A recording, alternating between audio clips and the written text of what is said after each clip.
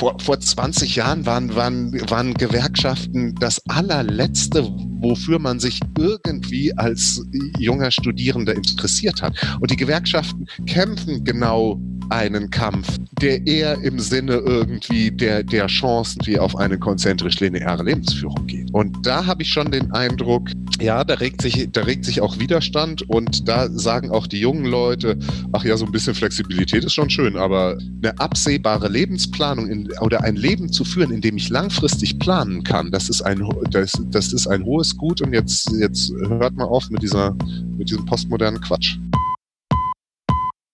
Here is the new Berlin. Hier ist das neue Berlin. Hallo und herzlich willkommen zur 53. Folge von Das neue Berlin.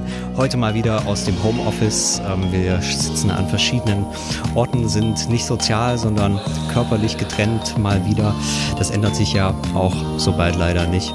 Und wollen heute sprechen über den Raum, aber nicht als physischen Raum, sondern als sozialen Raum. Zwar wird uns zwar sehr deutlich, dass wir natürlich irgendwie einen physikalischen Körper haben, dass wir auch einen biologischen Körper haben, der jetzt geschützt werden muss. Das ändert aber natürlich nichts daran, dass Räume trotzdem sozial konstituiert sind. Und so nicht nur der Raum, sondern auch die Zeit, ähm, was uns zu dem schönen Begriff der sozialen Raumzeit führt. Und wir haben heute Gunter Weidenhaus in der Sendung, der sich mit eben dieser sozialen Raumzeit wie kein anderer beschäftigt hat. Vor einigen Jahren so viele sind es noch gar nicht, 2015 ein Buch bei SOCAM veröffentlicht, was da eben einfach so einfach heißt, soziale Raumzeit.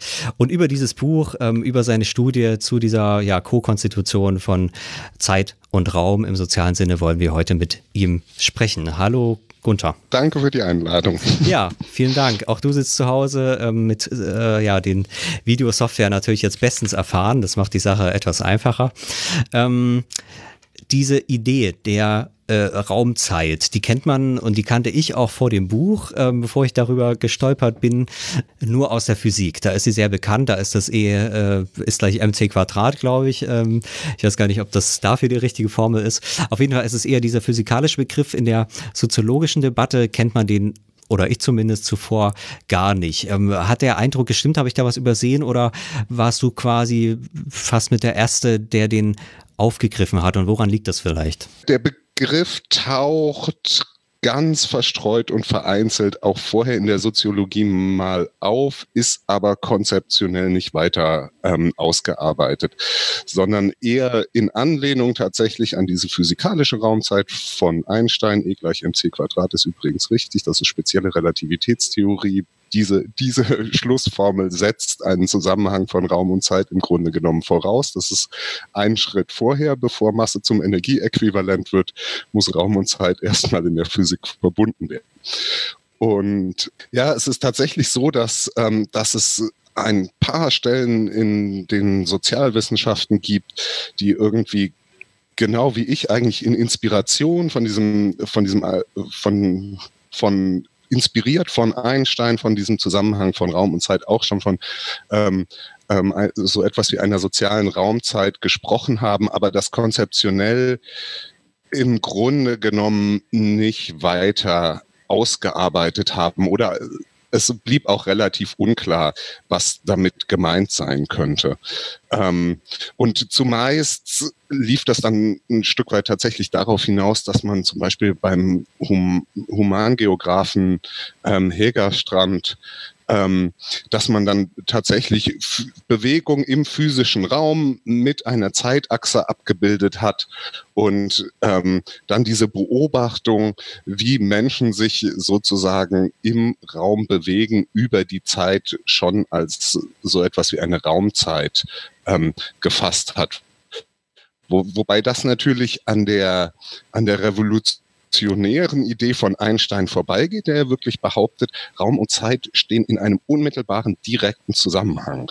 Und das ist ja, das ist bis heute immer noch ein überraschender Befund, wenn man sich wirklich klar macht, die Dauer einer Stunde hängt mit der Länge eines Meters zusammen. Das ist, das ist die Einsteinsche Behauptung und die dient für die soziale Raumzeit ein Stück weit ähm, als Inspiration. Und ähm, ist jetzt äh, dieses Fehlen einer soziologischen Raumzeit oder zumindest den nur selten gestreuten ähm, ja, auf dem nur selten gestreuten Aufgriff ähm, dieser Idee, gilt das auch für Raumsoziologien, Zeitsoziologien auch? Ähm, gleichermaßen? Also wurden die einfach selten verbunden? Oder gibt es sozusagen überhaupt diese Beschäftigung auch mit der Zeit und mit dem Raum? Ist das auch insgesamt ähm, ja eher stiefmütterlich behandelt worden? Ähm, das unterscheidet sich tatsächlich für, für die Zeit und für den Raum. Für die Zeit war relativ schnell klar, und es gibt einen relativ großen so, ähm, philosophischen und auch soziologischen und sozialwissenschaftlichen Diskurs ähm, über, über Zeit. Vielleicht, weil da einfach etwas etwas auffälliger ist, dass, ähm, dass, dass es Zeitbestimmungen gibt ähm, und Zeitvorstellungen gibt, die unmittelbar sozusagen sozial abhängig sind. Wenn man, wenn man sich überlegt, dass ähm, die solche Zeitbestimmungen, die eine Vergangenheit, eine Gegenwart und eine Zukunft konstituieren, ähm, dass das eine ganz bestimmte Vorstellung, eine ganz bestimmte Strukturierung von Zeit ist. Und man jetzt von den Historikern, von den Ethnologen weiß, dass eine solche Vorstellung von Zeit gar nicht überall präsent ist, sondern dass man Kulturen kennt, in denen das Wort für morgen das gleiche Wort ist wie das für gestern, ähm, in denen es ähm, grammatikalisch Vergangenheit, Gegenwart und Zukunft sozusagen als Tempi der Sprache überhaupt nicht gibt, sondern dass ähm, ähm, vielleicht eine Gegenwartsform vollkommen ausreicht in der Grammatik, dann merkt man sehr schnell, okay, in, bei dieser Zeit, in, in, in diesem Zeitbereich scheint es so etwas wie soziale Konstitutionsformen von Zeit zu geben, die sehr, sehr unterschiedlich sind und die sich fundamental unterscheiden.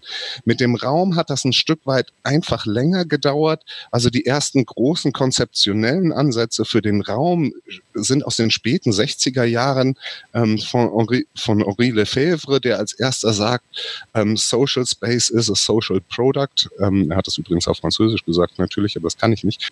Und der damit sozusagen eine, eine Raumsoziologie an den Start gebracht hat. Und es gibt ein Vorläufer, der das schon relativ weit gedacht hat in den 1920, ich glaube von 1920 ist der Text von Georg Simmel, der schon, ähm, der schon so etwas wie einen sozial, sozialen Raum tatsächlich gedacht hat und sich da und sich dabei auf Beobachtungen bezog, wie, naja, nicht alle Kulturen kennen auch Nationalstaaten. Ein Konzept wie Heimat oder sowas ist ja wohl ein räumliches Konzept, das aber eben in diesem physikalischen Raumbegriff überhaupt nicht aufgehoben ist. Ähm, allerdings ist dann die Diskussion über, über, diese Sozi über diese sozialen Raumkonstitutionen ist sehr, sehr verschwunden, was vielleicht ein Stück weit auch damit zusammenhängt, dass Raum und der Raumbegriff tatsächlich von den Nationalsozialisten ähm, instrumentalisiert worden ist mit solchen Thesen wie Volk ohne Raum. Und ähm, und man auch Angst hatte vor, vor dieser Nähe jetzt räumliche ähm, räumliche Begriffe wieder zu Grundbegriffen in den Sozialwissenschaften zu machen, ähm, vielleicht nach, nach, diesem, nach diesem nationalsozialistischen Missbrauch auch. Vielleicht ähm, halten wir noch mal eine wichtige Unterscheidung fest, die du gerade gemacht hast, ähm, zumindest in Bezug auf die Zeit schon gemacht hast, dass es eben tatsächlich ein Auseinanderfallen von verschiedenen Zeiten gibt, dass es dem, im Bereich der Zeit sowas gibt wie einerseits Geschichtlichkeit, andererseits sowas wie Chronologie und ähnlich beschreibst du es ja auch für den Raum, dass wir es tatsächlich wirklich mit zwei verschiedenen Phänomenen ähm, zu tun haben, beziehungsweise mit vier, wenn wir jetzt Raum und Zeit gleichzeitig betrachten. Ähm, vielleicht können wir das noch mal ein bisschen ausbuchstabieren. Ähm, wie lassen sich die beiden trennen und äh, in welcher Weise sind sie trotzdem aufeinander bezogen, beziehungsweise gibt es einen Bereich, der ähm, fundamentaler ist als der andere vielleicht? Ja, da hatte tatsächlich die, die analytische Zeitphilosophie viel drüber nachgedacht für die, ähm, für die beiden, ähm, für die beiden. Vielleicht gibt es in, vielleicht gibt es sogar drei ähm, verschiedene, ähm, verschiedene Zeitbegriffe. Und der erste Ansatz der analytischen Zeitphilosophie von John Ellis McTaggart ähm, war tatsächlich die Idee, dass sich Geschichtlichkeit auf Chronologie zurückführen lässt. Was im ersten Moment vielleicht auch eine ganz schlaue Idee ist, also Geschichtlichkeit ähm, verstanden als das Verhältnis von Vergangenheit, Gegenwart und Zukunft, Chronologie als Zeitbestimmungen, die ähm, über die Bestimmung von vorher, nachher gleichzeitig funktionieren. Und das wirkt ja erstmal ziemlich ähnlich. Die Vergangenheit wäre alles, was vorher war. Die Gegenwart ist alles, was jetzt ist. Und ähm, die Zukunft ist alles, was nachher kommt. Dann könnte man tatsächlich im Grunde Geschichtlichkeit ja auf Chronologie zurückführen, wenn das stimmen würde. Wir merken aber sehr, sehr schnell, dass das ist so gar nicht der Fall. Wir sprechen sinnvoll mit solchen Sätzen wie zum Beispiel, gegenwärtig leben wir im Zeitalter der Weltraumfahrt. Dann würde man, müsste man chronologisch allerdings sagen, ja, dieses Zeitalter hat mal spätestens mit der, mit dem ersten Satelliten im All in den 1950er Jahren begonnen.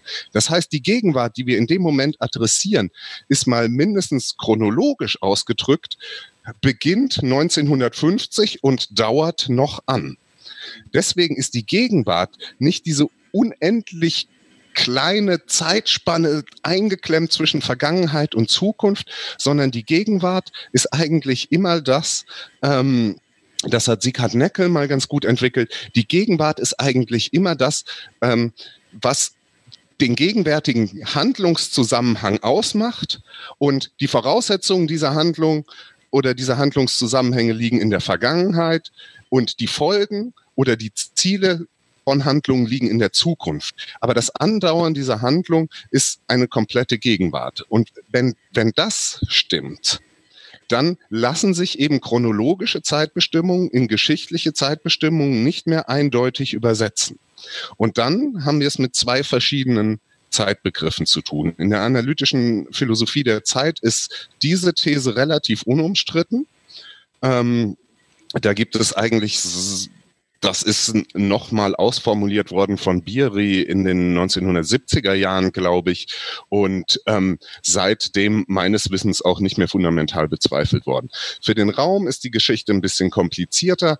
Ähm, ähm, beim Raum hätten wir, hätten wir die, so eine Differenz zwischen tatsächlich einem, einem physikalischen Raum, der eben genau wie die chronologische Zeit gedacht ist als Bestandteil der Dimensionalität unseres Universums, der auch ohne uns vorhanden wäre.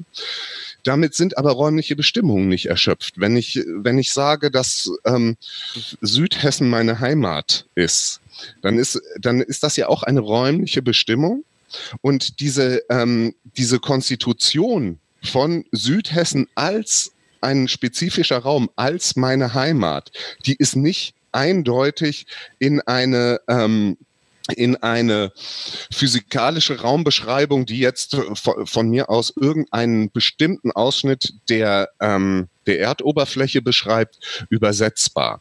Also ähm, Heimaten sind für die es gibt erstmal gibt es überhaupt keine Heimaten in bestimmten Kulturen. Es gibt Kulturen, die haben überhaupt keinen Heimatbegriff. Das heißt, der ganz, die ganze Raumkonstitution kommt überhaupt nicht vor.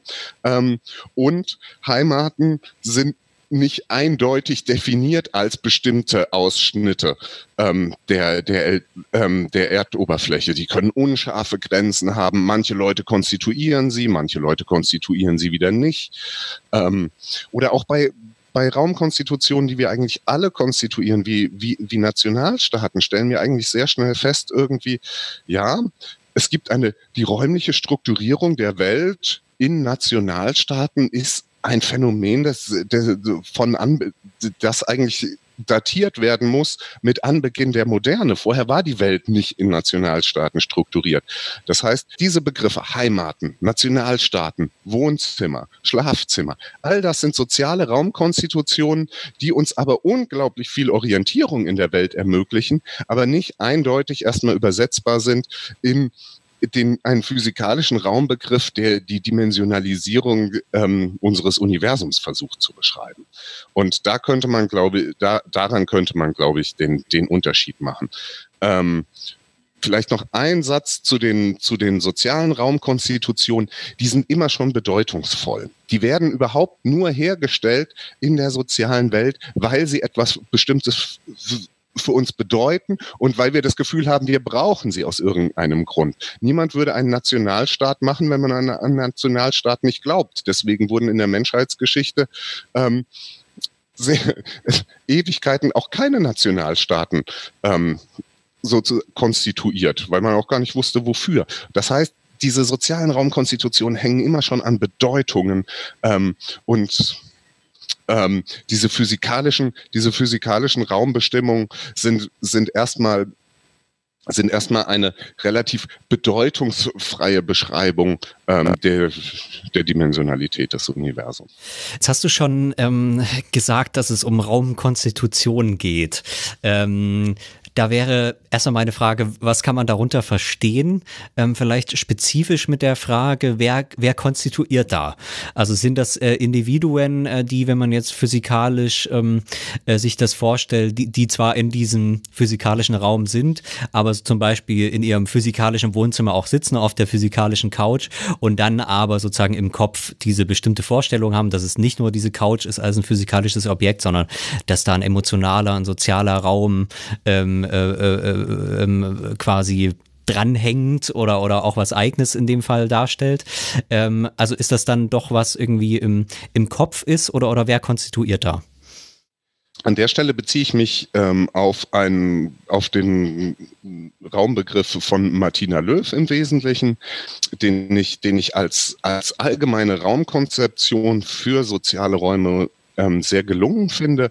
Und da, da wäre tatsächlich die Idee, wie wir schaffen diese sozialen Räume, beziehungsweise wir konstituieren dann eben diese sozialen Räume durch Handlungen. Und zwar durch zwei verschiedene Handlungen. Das ähm, ist Spacing und Syntheseleistung, heißt das bei Martina Löw. Damit ist gemeint, also Raum wird erstmal verstanden als relationale Anordnung von Gütern und Lebewesen an Orten. Und diese, ähm, diese, diese Räume kommen zustande durch Handeln. Und zwar einmal durch die Syntheseleistung. Das heißt, wir fassen bestimmte Elemente zu einem Raum zusammen. Also, wenn wir ein Schlafzimmer haben wollen, dann müssen wir zumindest mal ein Bett vier Wände, eine Decke und einen Boden zusammenbringen, damit da ein Schlafzimmer entstehen kann. Dieses Zusammenbringen, also dieses Synthetisieren dieser verschiedenen Elemente, Güter und Lebewesen, ähm, das, das wäre die Syntheseleistung. Und jetzt ähm, damit ist es aber noch nicht getan. Wenn wir uns vorstellen, wir nehmen einen Klassenraum zum Beispiel und dafür brauchen wir vielleicht eine Tafel und Stühle und Tische und ähm, wir stellen wir, wir stellen jetzt die Stühle und Tische alle in eine Ecke, stapeln die übereinander ähm, und äh, klappen, drehen die Tafel um, so dass sie, ähm, dass die Tafelseite im Grunde zur Wand zeigt, dann kriegen wir ernsthafte Probleme, das noch als Klassenraum zu bezeichnen. Das heißt, wo die Güter und Lebewesen platziert werden, spielt auch eine entscheidende Rolle. Und das wäre das Spacing. Also die Platzierungspraxis und die Synthese verschiedener Elemente zu einem Raum. Das ist die Idee, ähm, wie Räume sozial konstituiert werden. Und sozial werden sie deswegen konstituiert, weil wir, ähm, was meine Beispiele jetzt schon deutlich gemacht haben, wir haben es mit in den allermeisten Fällen mit institutionalisierten Räumen zu tun.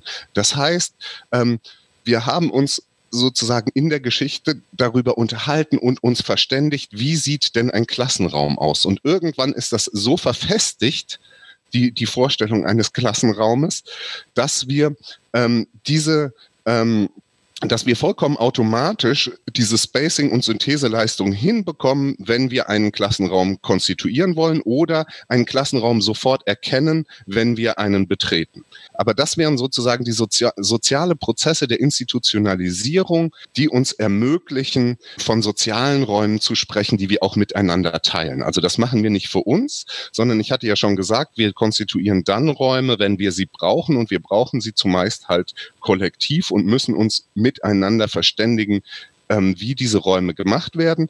Wenn sie dann institutionalisiert sind, dann kommen sie uns irgendwann, setzt so etwas wie ein Verdinglichungsprozess ein. Das heißt, sie kommen uns vor wie Elemente der Außenwelt, die schon immer da sind. Und dann passen wir sogar, fangen wir sogar an, unser Verhalten diesen Räumen anzupassen. Also wenn wir eine Kirche betreten, dann sprechen wir vielleicht leiser, wir bewegen uns vielleicht ein Stück langsamer. Das heißt, in dem Moment schaffen es dann solche institutionalisierten Räume sogar Einfluss auf unser Handeln zu nehmen. Und dann, und da, und im Grunde genommen wird dadurch der Raum zu einem soziologisch interessanten Gegenstand. Jetzt haben wir den Raum äh, und die Konstitution des Raumes. Ich fand das alles extrem nachvollziehbar. Ähm, wie ist das denn mit der Zeit? Wird die in einer ähnlichen Weise konstituiert? Ähm, das hast du ja von Martina Löw wahrscheinlich nicht übernehmen können. Nein. Wie gesagt, da stütze ich mich eher auf die ähm, analytische Philosophie der ähm, der Zeit. Und wenn man jetzt Geschichtlichkeit denkt als das ins Verhältnis setzen von Vergangenheit, Gegenwart und Zukunft, dann kommt man sehr schnell darauf, dass dieses Verhältnis hier auch sehr unterschiedlich beschaffen sein kann.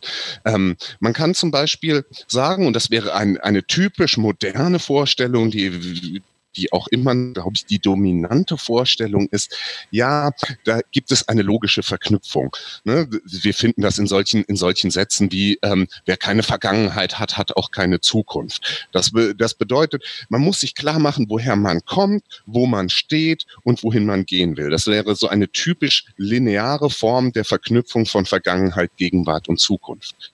Es gibt in ähm, ähm, der, diese, diese Vorstellung, diese lineare Vorstellung ist allerdings eine gesellschaftshistorische, relativ spezifische Vorstellung und, ähm, und auch gar nicht so wahnsinnig alt. Also dieser Kollektiv-Singular der Geschichte stammt ähm, aus dem 17. Jahrhundert, glaube ich, erst, der diese lineare Vorstellung von Zeit explizit zum Ausdruck bringt. Und wir finden, wir finden in, ähm, in anderen Kulturen oder auch zu anderen Zeiten ganz unterschiedliche ähm, soziale Zeitkonstitutionen, müsste man jetzt sagen.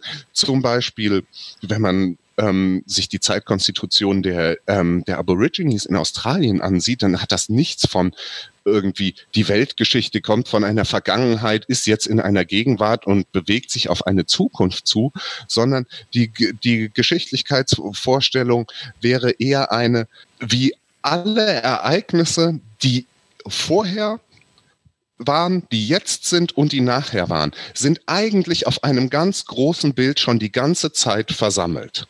Das heißt, sie sind im Grunde genommen, sind sie alle, es gibt eine riesige Gegenwart. Und in dieser riesigen Gegenwart sind alle Ereignisse, stehen dort nebeneinander. Jetzt gibt es Mythen dazu, warum wir Menschen ähm, nicht in der Lage sind, dieses ganze Bild zu sehen, sondern eigentlich immer nur ein Ausschnitt des Bildes. Deswegen kommt es so, kommt es uns im Grunde auch nur so vor, als würden die Dinge nacheinander geschehen.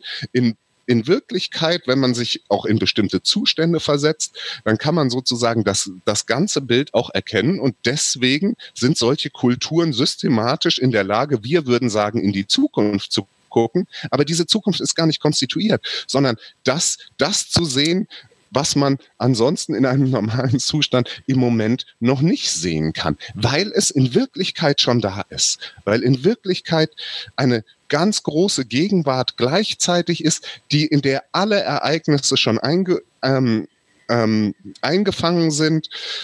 Genau die Geister der Ahnen, genauso wie wie, wie alle noch, noch ungeborenen Menschen sind eigentlich in einer, in, in einer gemeinsamen Gegenwart versammelt, die sich, die dann in der Übersetzung, in der deutschen Übersetzung tatsächlich die Traumzeit heißt. Und diese Traumzeit hat eben genau keine Geschichtlichkeit, sondern diese Traumzeit kann man sich vorstellen als eine ewige Gegenwart, die sich immer wieder aktualisiert. Und so gibt es eben auch nicht nur beim Raum verschiedene, ganz verschiedene Arten von ähm, Raumkonstitutionen, die Menschen machen, sondern auch ganz verschiedene Arten von Zeitkonstitutionen.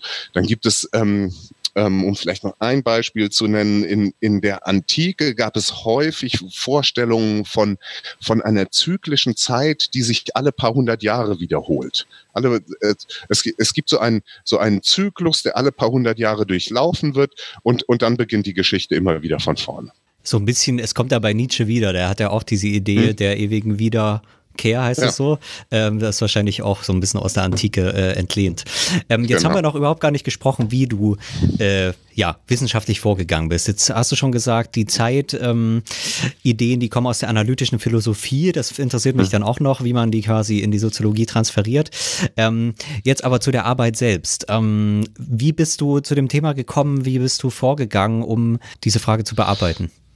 Um, um, um einfach nochmal die Frage an der Stelle ex explizit zu machen. Die Frage wäre jetzt sozusagen analog zum Konzept, inspiriert vom Konzept dieser physikalischen Raumzeit von Einstein, die eben sagt, ja, ähm, chronologische Zeitbestimmungen sind unmittelbar abhängig von physischen Raumbestimmungen. Also die Länge eines Meters hängt mit der Dauer einer Sekunde zusammen. Das ist gleichsam die Inspiration und übersetzt in den sozialen Bereich hieße das, könnte es nicht sein, dass bestimmte Konstitutionsformen von Geschichtlichkeit, zum Beispiel diese lineare Geschichtlichkeit, von der ich gerade ges gesprochen habe, mit ganz bestimmten Konstitutionsformen von Raum, mit, mit ganz bestimmten Konstitutionsformen von Raum zusammenhängen. Zum Beispiel, um, um Konstitutionsformen von Raum, um einfach mal zwei ähm, zwei in den Raum zu, in den Raum zu werfen.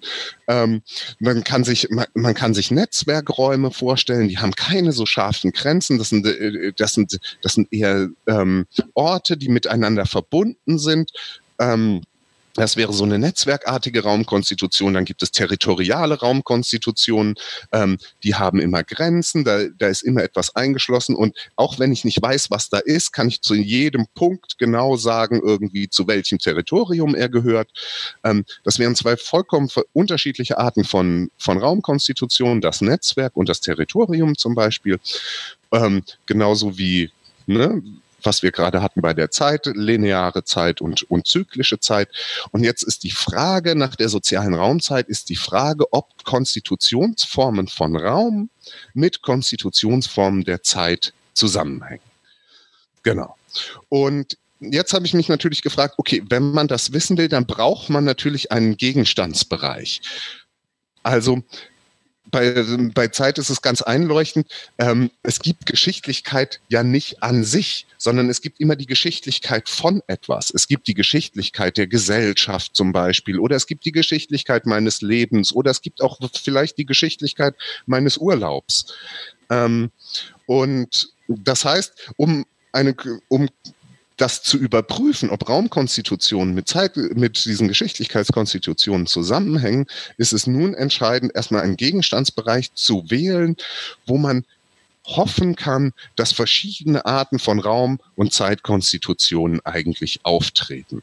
Und da habe ich eben die Biografie genommen, die Biografie als Blick auf die Gesamtheit des eigenen Lebens. Das ist so eine ganz einfache Definition. Wenn man sein Leben als Ganzes anguckt, dann, ähm, dann ist relativ eindeutig, dann gibt man diesem Leben eine bestimmte Form von Geschichtlichkeit. Man sagt zum Beispiel, ich, ich bin auf einem Entwicklungspfad und lebe auf Basis dieser Vergangenheit entscheide in der Gegenwart dies und das, um in, um in Zukunft da und dahin zu gehen. Das machen aber gar nicht alle Menschen so. Andere Menschen machen was ganz anderes. Die sagen zum Beispiel, ähm, ja, ich mache jetzt in der Gegenwart das. Diese Gegenwart hat eine chronologische Ausdehnung von drei Jahren. Ich mache dieses Projekt. Ich betreibe einen Club für elektronische Musik, weil ich das gerade cool finde. Aber ich weiß schon jetzt, irgendwann wird das aufhören. Ich habe aber keine Ahnung, wohin das führt. Und ich werde danach irgendein anderes Projekt machen und das relativ unabhängig sozusagen von, von dem betrachten, was ich im Moment als meine Gegenwart ansehe und was mich gegenwärtig auch vollkommen ausfüllt. Aber irgendwann in meinem Leben ähm, wird es, ähm, wird es ein, wird eine neue Gegenwart anbrechen, die ist jetzt für mich die Zukunft, aber in dem Moment wäre dieses lineare Moment, meine Gegenwart führt in die Zukunft, wäre aufgebrochen. Das heißt, das wären zwei verschiedene Arten und Weisen, dem eigenen Leben eine Geschichtlichkeit zu geben. Und genauso kann man dem, dem eigenen Leben gleichsam unterschiedliche Räume geben. Ich kann zum Beispiel sagen, ähm, naja, was für mich in meinem Leben wichtige Räume sind, das ist erstmal mein Zuhause, das ist meine Basis. Hier, ich, ich, ich brauche ich brauche diese, die, diese Basis, das ist gleichsam mein Standbein, auf dem ich stehe, das muss ich räumlich konstituieren, deswegen ist es mir auch wichtig, irgendwie eine stabile Wohnung einzurichten und ähm, nach, nach Möglichkeit da auch zu sein. Und dann habe ich von mir aus eine Stadt drumherum, diese, diese Stadt ist mir wichtig, weil sie mir bestimmte Optionen zum Arbeiten und so weiter ähm, bietet, weil dort Freundeskreise oder vielleicht sogar Familienangehörige leben, deswegen beziehe ich mich in, biografisch auf diese Stadt. Und ähm, und man kann das noch durch verschiedene Maßstabsebenen durchspielen. Und dann hätte man im eigenen Leben so eine Idee von der, einer so wie ich es jetzt gebaut habe, mit der Wohnung im Mittelpunkt, der Stadt drumherum, vielleicht im Nationalstaat noch als einen relevanten Raum in meinem Leben, dann hätte man so ein konzentrisches Raummodell für sein Leben. Aber man kann es eben auch ganz anders machen. Man kann sagen, ach, meine Wohnung, meine Wohnung, das ist der Platz, an dem ich schlafe. Aber das ist nicht mein Zuhause. Ich, ich brauche irgendeinen, ich brauche irgendeinen Ort, wo mein Bett steht. Ähm, aber was mir wichtig ist, das sind, das sind eigentlich nur bestimmte Stadtviertel, in denen bestimmte Szenen unterwegs sind, in denen ich ähm, bestimmte Projekte verwirklichen kann. Vielleicht habe ich einfach nur daran Interesse. Und nachts schlafe ich halt in meinem Bett. Deswegen brauche ich noch nicht sowas wie einen räumlichen Zentralpunkt meines Lebens, sondern ähm, ich baue mir mein Leben räumlich eher so als Netzwerk auf. Ich bin mal hier in der coolen Stadt, ich bin mal in London, ich bin mal in, in, in Berlin, je nachdem, welche Optionen sich da ergeben. Aber ein festes Zuhause zu konstituieren, das brauche ich gar nicht. Das wäre jetzt gleichsam die Idee ähm, zu sagen, ja, okay, in Biografien kann es passieren, dass ich unterschiedliche Raumkonstitutionen habe, dass ich un, ähm, und unterschiedliche Geschichtlichkeitskonstitutionen. Also ist das ein guter Gegenstand, um zu, um danach zu suchen. Und das ist wirklich so eine explorative Studie. Ich wusste nicht, ob es einen Zusammenhang zwischen sozialen Raum- und Zeitkonstitutionen gibt.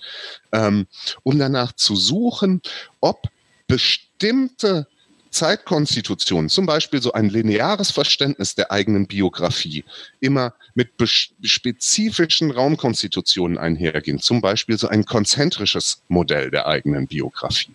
Jetzt habe ich auch schon ein bisschen gesagt, wie ich mich der Geschichte angenähert habe. Also ich habe narrativ-biografische Interviews gemacht und habe dann aus diesen Interviews heraus rekonstruiert, wie eigentlich werden hier die biografisch relevanten Räume ins Verhältnis gesetzt und ein Muster daraus gebaut, das ich vielleicht als Typ beschreiben kann. Und wie werden Vergangenheit und Gegenwart und Zukunft des eigenen Lebens ins Verhältnis gesetzt, so dass man damit ein Typen bauen kann, ein Muster beschreiben kann. Und die Frage ist jetzt, ist es vielleicht so, dass immer wenn ich einen Typ von Zeit habe, ich auch einen bestimmten Typ von Raum ähm, habe in den Biografien. Dazu die Frage, auf welcher Ebene findet dann die Konstitution statt? Also ist es dann, ähm, jetzt hast du über den Gegenstand gesprochen, äh, ist der Gegenstand sozusagen eher exemplarisch, an dem man das beobachten kann? Kann es nicht auch sein, dass man quasi in solchen Interviews eher an Diskurse anschließt, die dann ähm, dort sich ereignen, sodass diese, diese Verknüpfungen von Raum und Zeit, du hast jetzt äh, sehr eindrückliche Beispiele genannt, ähm, dass es dann eher um ja, diskursive Verknüpfungen geht ähm, oder ist es dann, also ist, ist die Konstitution, findet die quasi im Interview statt, wenn der Soziologe, in dem Fall du, nachfragt? Ähm, oder ist das sozusagen der, der Rückschluss auf, auf dann in dem Fall, wie diese Menschen auch leben? Also auf welcher Ebene ähm, sind da jeweils die Begriffe angelegt? Das, das ist tatsächlich eine sehr schöne Frage es ist, es ist tatsächlich ein Stück weit richtig, dass die Interviewsituation, die einen solchen Stimulus gibt, das ist ein ganz einfacher Stimulus. Ich sage sehr wenig in, und ich frage auch sehr wenig in solchen Interviews, sondern ich lasse mir Lebensgeschichten erzählen. Und das heißt, ich gebe so einen Eingangsstimulus, so eine Erzählaufforderung, die im Grunde, im Grunde aus dem Satz besteht, ich möchte, ich möchte Sie bitten, mir die Geschichte Ihres Lebens zu erzählen. Und dann versuche ich die Leute so lange erzählen zu lassen, wie es ähm, es nur irgend geht, möglichst ohne irgendwelche Nachfragen zu stellen, ähm, was den Vorteil hat, dass die Leute das erzählen, was ihnen relevant vorkommt und das weglassen, was ihnen nicht relevant vorkommt. So, wenn ich immer fragen würde, dann gebe ich selber immer die Relevanzstrukturen, also was ist wichtig, was ist unwichtig, die würde ich immer vorgeben. Durch diese, durch diese freie Form der Interviewführung ähm, gibt es sozusagen eine Chance, die Relevanzstrukturen der meiner Interviewpartnerin ähm, zu, zu rekonstruieren, weil das, was sie, was sie erzählen, ist ihnen wichtig. Aber um auf deine Frage zurückzukommen an, an dieser Stelle, jetzt ist es tatsächlich so, dass in dieser Erzählaufforderung, die ich gerade genannt habe, ein ganz be bestimmter Stimulus auch liegt, der im Grunde heißt, nehme die Gesamtheit deines Lebens in den Blick. Also biografisiere jetzt. Und das ist tatsächlich etwas, was wir im Alltag nicht permanent machen. Wovon ich aber behaupten würde, dass es in, in modernen Gesellschaften, und ich würde jetzt, wüsste nicht, wo auf der Welt keine moderne Gesellschaft mehr ist, dass es in modernen Gesellschaften sehr, sehr üblich ist, das hat was mit Individualisierung und so weiter zu tun, also sozusagen sein eigenes Leben als Gesamtheit in den Blick zu nehmen. Das hat auch was damit zu tun, dass wir in der Moderne aufgefordert sind, unser Leben zu führen und zwar selbstverantwortlich zu führen. Das heißt, eigentlich alle modernen Menschen, was praktisch alle, was nahezu was die allermeisten Menschen sind, würde ich jetzt mal sagen, die, die gegenwärtig auf der Welt leben. Ähm, also das Leben als Gesamtheit in den Blick nehmen, als biografische Perspektive, können die allermeisten ähm, Menschen tatsächlich tun. Es ist aber keine alltägliche Geschichte, sondern es ist eine Geschichte, die man, wenn man sozusagen weitreichende Entscheidungen im Leben trifft, dann nimmt man, nimmt man aber, nimmt man, glaube ich, schon, ist man es auch gewohnt, eine solche Perspektive einzunehmen. Das heißt, sie ist kein wissenschaftliches Artefakt. Also es wird nicht nur, wenn ich diese Frage stelle, biografisiert, sondern es wird auch biografisiert, wenn man zum Beispiel zwei Jobangebote hat, eins in München äh, und eins in Berlin und sich jetzt fragt, welchen dieser beiden Jobs nehme ich an dann taucht im Hintergrund die Frage auf, ja, wie will ich denn leben? Was will ich denn mit meinem Leben machen? Wie soll ich, wie soll ich denn mein Leben führen? Oder welche Ausbildungsberuf oder welchen Beruf? Studieren oder Ausbildung? In solchen, in solchen Momenten, glaube ich, ähm, gibt, taucht diese biografische Perspektive, die jetzt eben auch mein Forschungsgegenstand ist, sozusagen auch in der Welt empirisch auf. Das heißt, diese biografische Perspektive ist, würde ich nicht sagen, dass sie nur ein Artefakt ist, das nur dann auftaucht, wenn ich sie provoziere. Allerdings provoziere ich sie natürlich in der Interviewsituation, um jetzt sozusagen, nimm jetzt doch nochmal dein Leben als Gesamtheit in den Blick. Wir sind auch darauf sozialisiert, unser Leben hin und wieder äh, als Gesamtheit in den Blick zu nehmen. Also welches Schulkind wird denn nicht gefragt, ja, was willst du denn später werden? Wo, wo soll das denn hinführen, wenn du so weitermachst? Konntest du da manche Erkenntnisse der Biografieforschung, der Lebenslaufsoziologie, die es ja schon lange gibt, ähm, die auch ähm, ja ganz unterschiedliche Fragestellungen bearbeitet, dafür verwenden? Oder ist es tatsächlich eine Perspektive, die da, die da gar nicht so stattfindet, auf diese Zeitlichkeit, die Räumlichkeit der Biografie selbst oder der Konstitution äh, darin, ähm, sich das anzugucken? Ja, ta äh, ta tatsächlich, ähm, tatsächlich wird Biografie, also es gibt eine ganze Fülle irgendwie von möglichen Fragestellungen für Biografieforschung.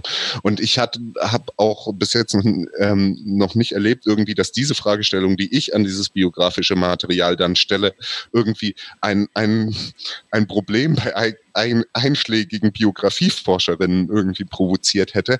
Aber es ist tatsächlich so, dass dass häufig gerade im soziologischen Bereich natürlich spezifischere Fragen an Biografieforschung gestellt wird. Also wie wird biografisch der Fall der Mauer verarbeitet oder so. Ne?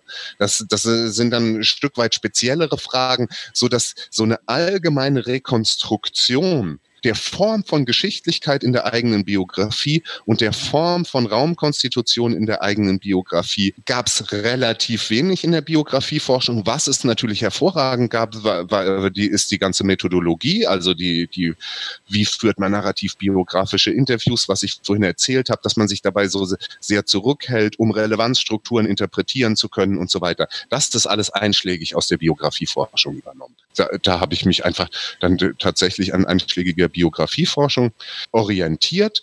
Und diese Frage nach Raum und Biografie ist tatsächlich interessanterweise sehr, sehr wenig gestellt worden.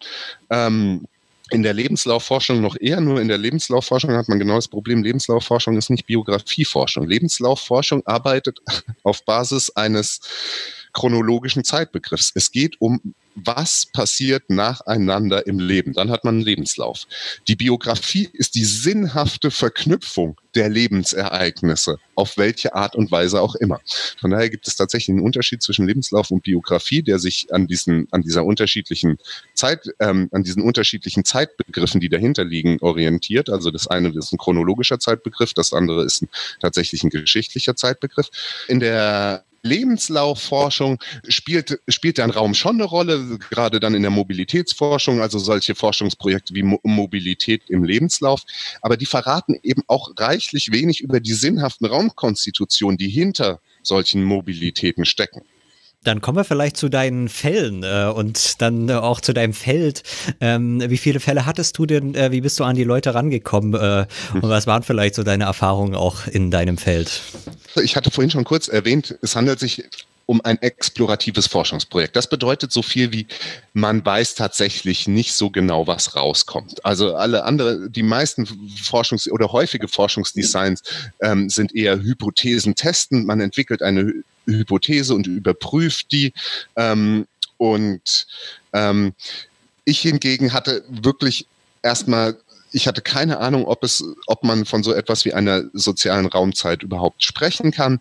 Ähm, und dachte, ja, in Ordnung, ich kann jetzt kein repräsentatives Sample irgendwie ziehen, um, um das zu überprüfen, sondern ich muss eben diese tatsächlich dann auch relativ lang, also bis zu, bis zu vier Stunden kann so ein narrativ-biografisches Interview schon, dann schon mal auch dauern, ähm, hängt von den Erzählpersonen ab. Ähm, ich, ich kann kein, kein repräsentatives Sample ziehen, das würde mir auch nichts bringen, weil wenn es eine dominante Form ähm, in der Gesellschaft zum Beispiel der Geschichtlichkeitskonstitution in der Biografie gibt und ich habe Pech und mache dann irgendwie 20 Interviews, dann finde ich immer nur dieselbe Form.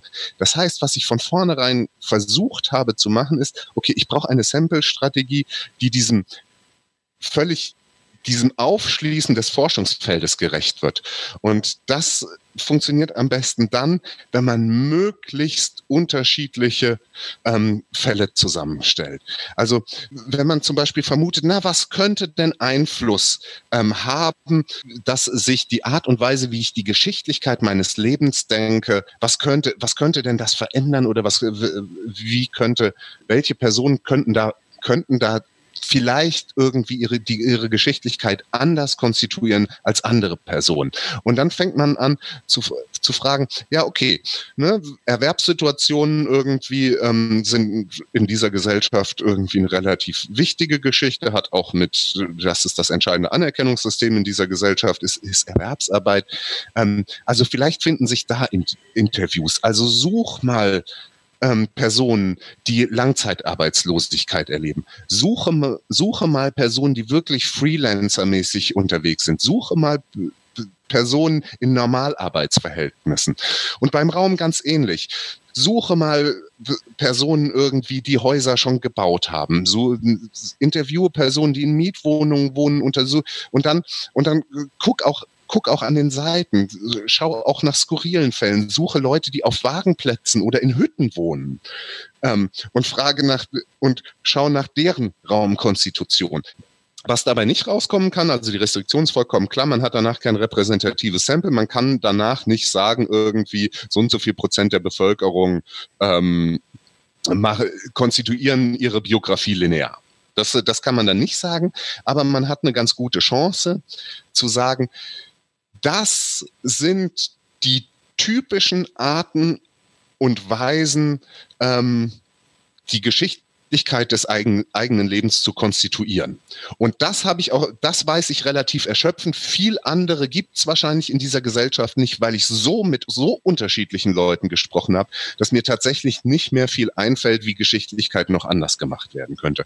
Und das wäre das Ziel einer solchen auf Heterogenität, also auf Verschiedenheit ein, ähm, auf ähm, auf Verschiedenheit zu samplen, also die Fälle danach auszusu auszusuchen, möglichst große Unterschiede ähm, zu haben und erwarten zu lassen, so dass man hinterher ganz gute Argumente dafür hat, in der Soziologie nennt man das theoretische Sättigung, dass man dann ein theoretisches, theoretisch gesättigtes ähm, Sample am Ende hat, wo man dann denkt, ja, okay, wenn ich jetzt noch fünf Leute interviewe, dann kommt auch kein, keine neue Form Geschichtlichkeit bei raus oder kommt auch keine neue Form ähm, der biografischen Raumkonstitution bei raus, sondern ich kenne eigentlich die unterschiedlichen Formen biografischer Raumkonstitutionen und Geschichtlichkeitskonstitutionen, ähm, die, die zumindest Ne, ist ein deutsches, ist ein deutsches Sampling, die zumindest irgendwie in, in Deutschland vorkommen.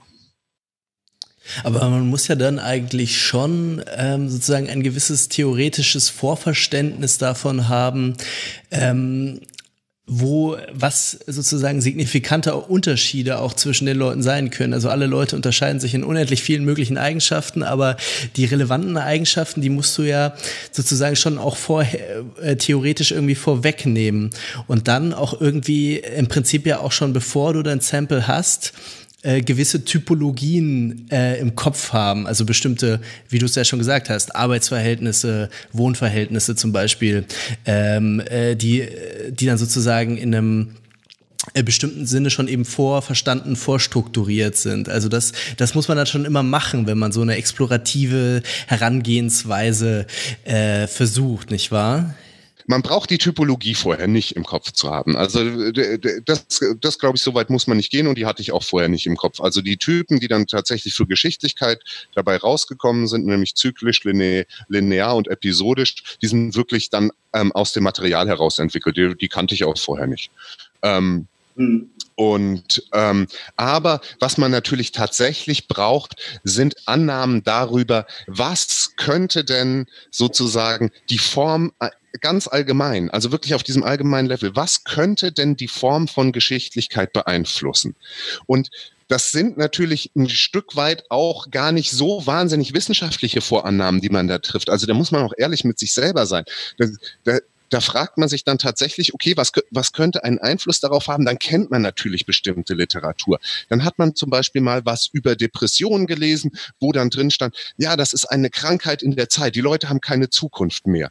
Dann, dann kennt man sich sozialstrukturell äh, ein bisschen aus und weiß, dass ähm, der Prozentsatz von, von, ähm, von Depressionen bei Langzeitarbeitslosigkeit tatsächlich hochgeht. Und ähm, dann weiß man, ne, was ich vorhin sagte, mit dem Anerkennungssystem Erwerbsarbeit.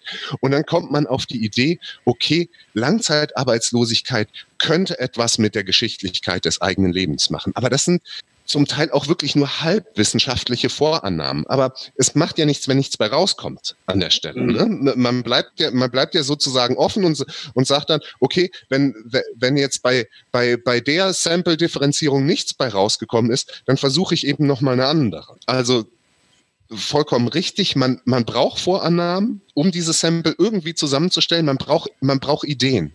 Vielleicht kannst du dann auch gleich beschreiben, wie du dann zu dieser Typisierung gelangst. Also du hast ja tatsächlich äh, in beiden äh, Registern, im räumlichen wie im zeitlichen, in der Zeitkonstitution wie in der Raumkonstitution, drei Typen ausgemacht, äh, deren, äh, die dann auch nochmal untereinander sehr stark ähm, zusammenhingen. Aber wie, wie schält sich das raus sozusagen? Vielleicht auch ganz konkret an einem, äh, an einem Beispiel, äh, wenn man irgendwie mit fünf Leuten gesprochen hat, äh, wie, wie, wie, wo kommen die Ähnlichkeiten her? Wie wie, wie, ähm, wie bildest du dann diese Typen? Oder sind die eh so klar und augenscheinlich gewesen von Anfang an?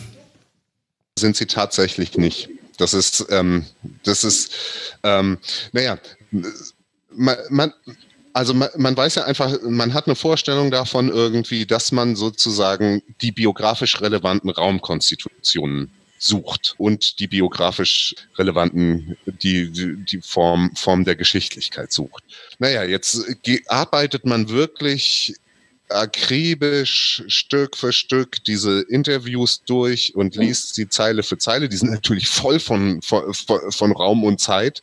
Ähm, wir können ja, wir kriegen fast keinen einen Satz zu sagen, ohne dass wir was über, über Raum und Zeit sagen. Aber dann, ähm, dann guckt man natürlich, okay, ähm, was, was für Raum- und Zeitvorstellungen ähm, spielen jetzt für diese Biografie? Und das, das machen die Leute meistens, im, ähm, während sie sprechen, sehr, sehr deutlich. Zum, zum Beispiel, indem sie sagen irgendwie, das hat mich nachhaltig beeinflusst oder da zehre ich heute noch von. Mhm. Das, äh, das sind dann, das sind, wären dann solche Sätze, wo man weiß, okay, das, was davor steht irgendwie, das scheint irgendwie als Vergangenheit einsortiert zu werden und einen starken Einfluss auf die Gegenwart zu haben. Und dann hat man noch keinen Typ oder sowas. Dann ist man noch nicht bei Linearität oder so, sondern dann hat man erstmal, ähm, dann, dann fragt man sich ja, okay, was ist denn das? Und dann kommt man drauf, nee, das ist doch eine logische Koppelung zwischen Vergangenheit, Gegenwart und Zukunft. So, und jetzt, jetzt hat man sowas wie eine Kategorie nämlich die Kategorie logische Koppelung Vergangenheit, Gegenwart und Zukunft. Und jetzt guckt man seine Fälle darauf hindurch. Und jetzt schaut man, okay, habe ich Fälle, die stark logisch koppeln und habe ich Fälle, die weniger stark logisch koppeln.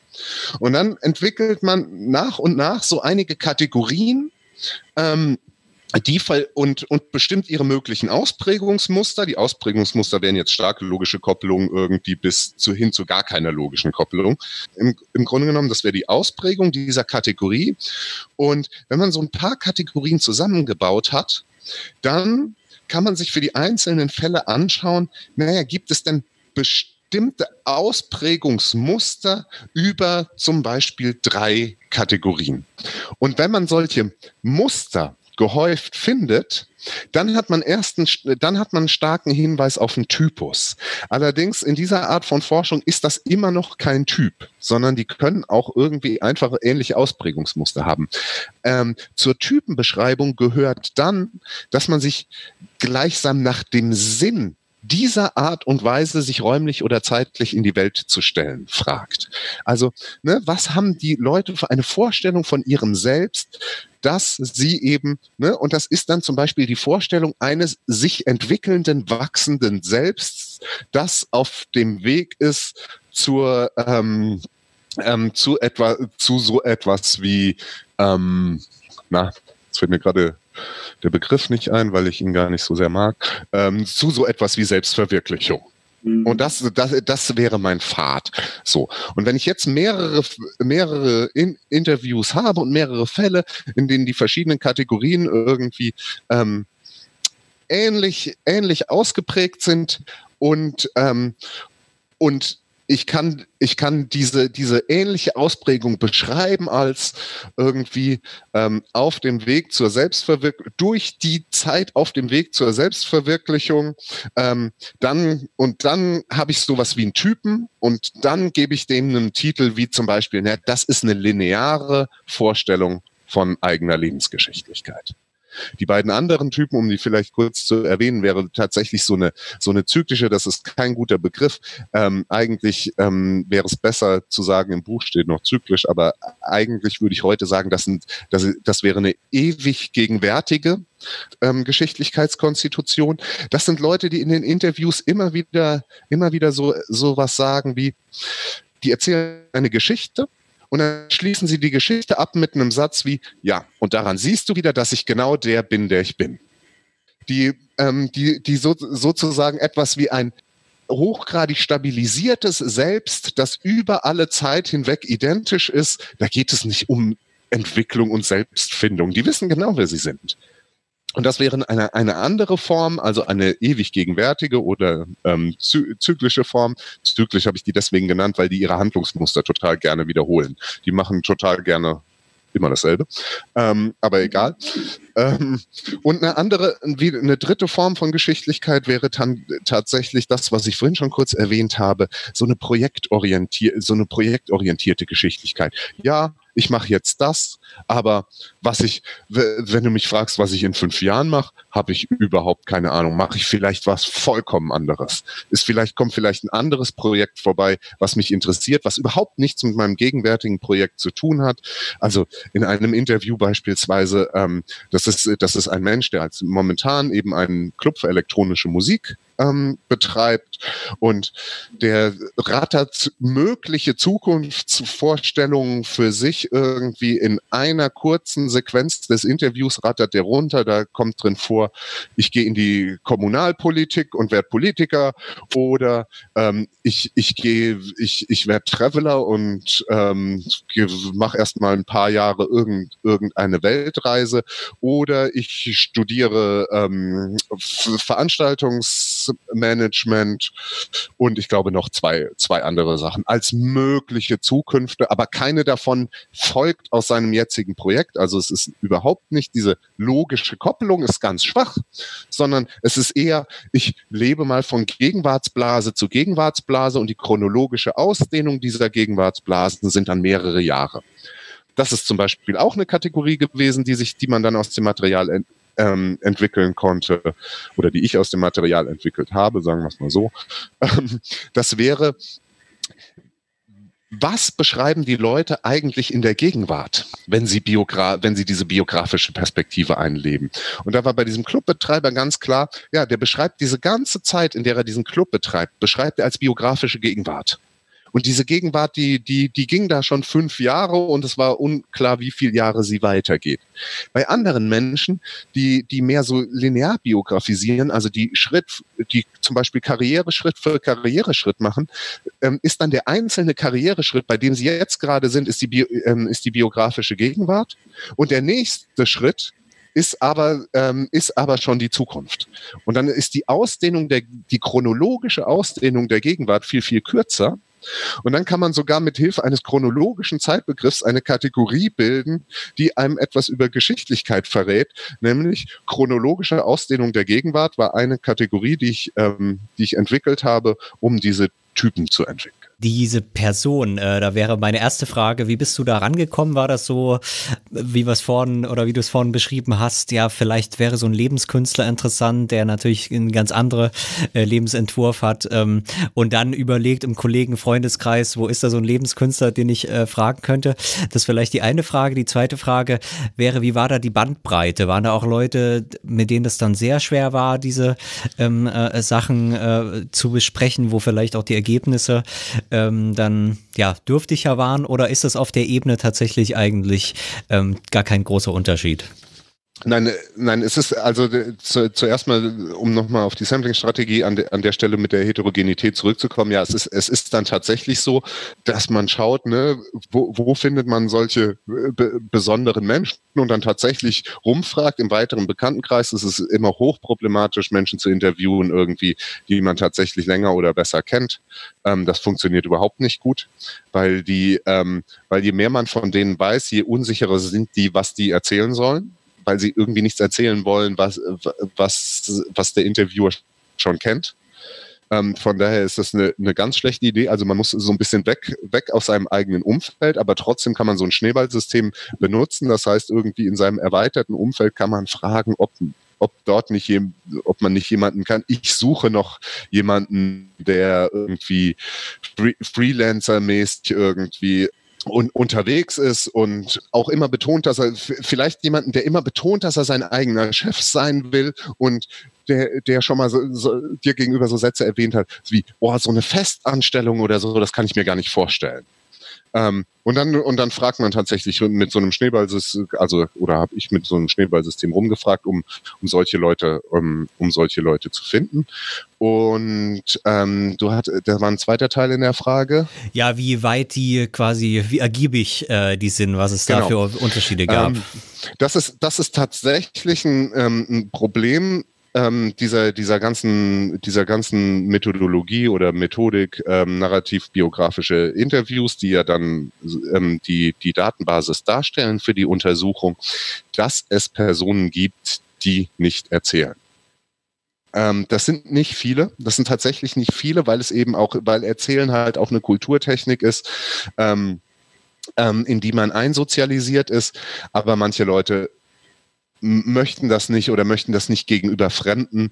Und da hat man aber sehr, sehr wenige. Also ich hatte in dem ganzen Sample von, vier, von ähm, insgesamt 24 narrativ-biografischen Interviews, ähm, die, die dann in die Untersuchung kamen, da, dafür hatte ich ähm, ein paar mehr geführt, ein paar vorher als Test und bei nur bei einem Interview war es tatsächlich so, dass ich ähm, gesagt habe, nee, das kann ich nicht benutzen, weil diese Person einfach nicht ins Erzählen kommt. Das lag vielleicht auch an mir, ne? Es braucht eine bestimmte Haltung irgendwie, um, um, um, um diese Art ähm, ähm, um diese Art von Interviews äh, zu führen, weil man, weil man eben selber gar nicht, gar nicht viel sagt. Das ist ähm, ist auch nicht ganz unproblematisch. Also es ist nicht so eine so eine Methode, die man einfach, die, das muss man auch einfach üben, dass dass die Leute ähm, dass die Leute das Gefühl haben, irgendwie relativ frei sprechen zu können wenn sie,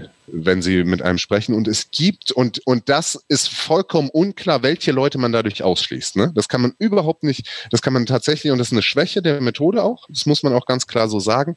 Die Personen, die nicht erzählen, es weiß niemand irgendwie, ob die irgendwas verbindet, ob das eine reine Zufallsauswahl ist, irgendwie aus möglichen, aus, aus möglichen Leben. Das wäre großartig weil dann würde es nichts verzerren.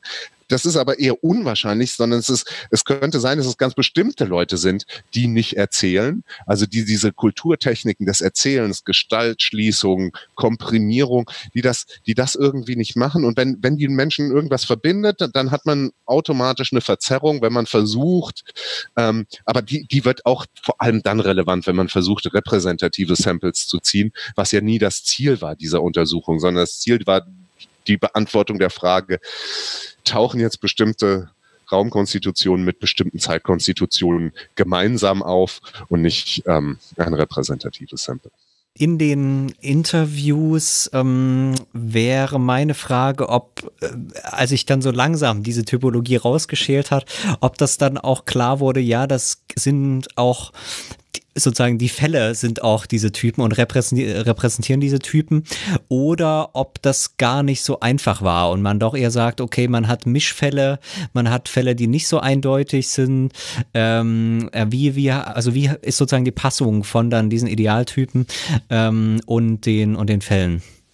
Ja, überraschenderweise, und das äh, finde ich tatsächlich überraschend, sind die Fälle relativ, also ne, Spiel gibt's da immer, aber tatsächlich relativ nah an den Idealtypen gewesen. Ähm, und die, die Misch, also Mischungen eher weniger. Was es, was es gibt, sind sozusagen ähm, Wechsel der raumzeitlichen Orientierung, nenne ich es mal, ähm, im Lebenslauf. Also im Verlauf des Lebens bestimmte Ereignisse treten ein. Zum Beispiel, ich habe ähm, ne, zu dieser zu dieser linearen Lebensplanung gehört zum konzentrisches Raummodell. Ich habe ein, ein Zentrum, ein, ein, ein Zentrum meines Lebens irgendwie. Das ist im Normalfall irgendwie in dieser Gesellschaft die, die, die eigene Wohnung. Das ist mein Standbein. Das das versuche ich auch halbwegs stabil zu halten. Das heißt nicht, dass ich nicht umziehen kann, aber das heißt, dass ich ein Zuhause konstituieren muss. Und dieses Hause zu konstituieren ist auch Arbeit. Deswegen ziehe ich nicht unüberlegt mal einfach irgendwo um, weil das heißt immer, ich muss ein neues Zuhause konstituieren. Ähm, Genau. Also die, diese Menschen haben, äh, diese Menschen haben ein Zuhause, denen ist aber mal mindestens die, die Stadt auch noch wichtig, häufig verbunden mit Freundeskreisen, ähm, in denen sie leben und ähm, auf anderen Maßstabsebenen dann vielleicht sowas wie Heimat und so eine, so eine geografische Verbundenheit zu einer bestimmten Region. Ähm, und dann hat man so, ein, so relevante Lebensräume, die so konzentrisch umeinander liegen. Deswegen ist es ein, habe ich das bezeichnet als ein, ähm, ein konzentrische, eine konzentrische biografische Raumkonstitution. Und die, die habe ich immer dann gefunden, wenn ich diese linearen, ähm, wenn ich diese, diese, diese lineare Vorstellung auch des eigenen Lebens gefunden habe. Das heißt, es gibt so einen konzentrisch linearen Typ. Jetzt sind die, die ich dann als konzentrisch linear gleichsam ähm, ähm, eingelesen habe, würde, würde ich jetzt mal sagen, die sind tatsächlich nicht so wahnsinnig weit weg. Klar, aber von, von so einem konzentrisch idealen ähm, ähm, von so, so, einem konzentrisch linearen Idealtyp.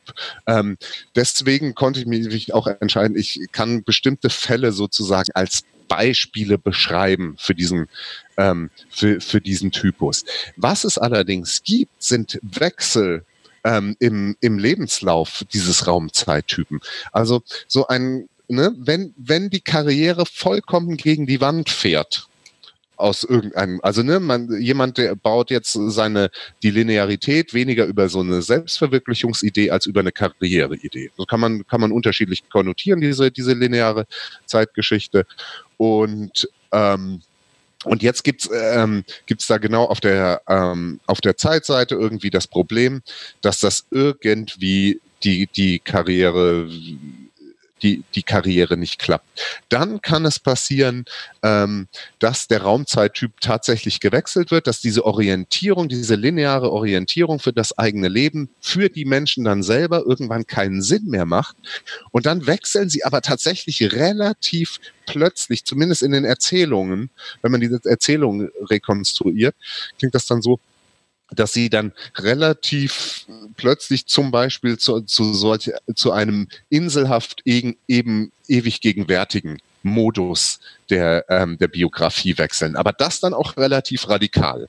Dann sagen sie, nee, jetzt ist mir nur noch mein Zuhause wichtig. Alles drumrum irgendwie passt mir sowieso nicht so gut in den Kram. Da stecke ich auch wahnsinnig viel Arbeit rein, dass ich dieses Zuhause zu einem, zu einem ganz starken Nest mache. Ich grenze das auch stärker eigentlich gegen die Außenwelt ab. Ich suche mir meine Routinen, in die ich immer weitermache und entwickle ein Selbstbild von mir, dass ich so bin, wie ich bin und dass es nicht mehr darum geht, irgendeine, irgendeine Entwicklungslinie meines, meines Selbst zu verfolgen.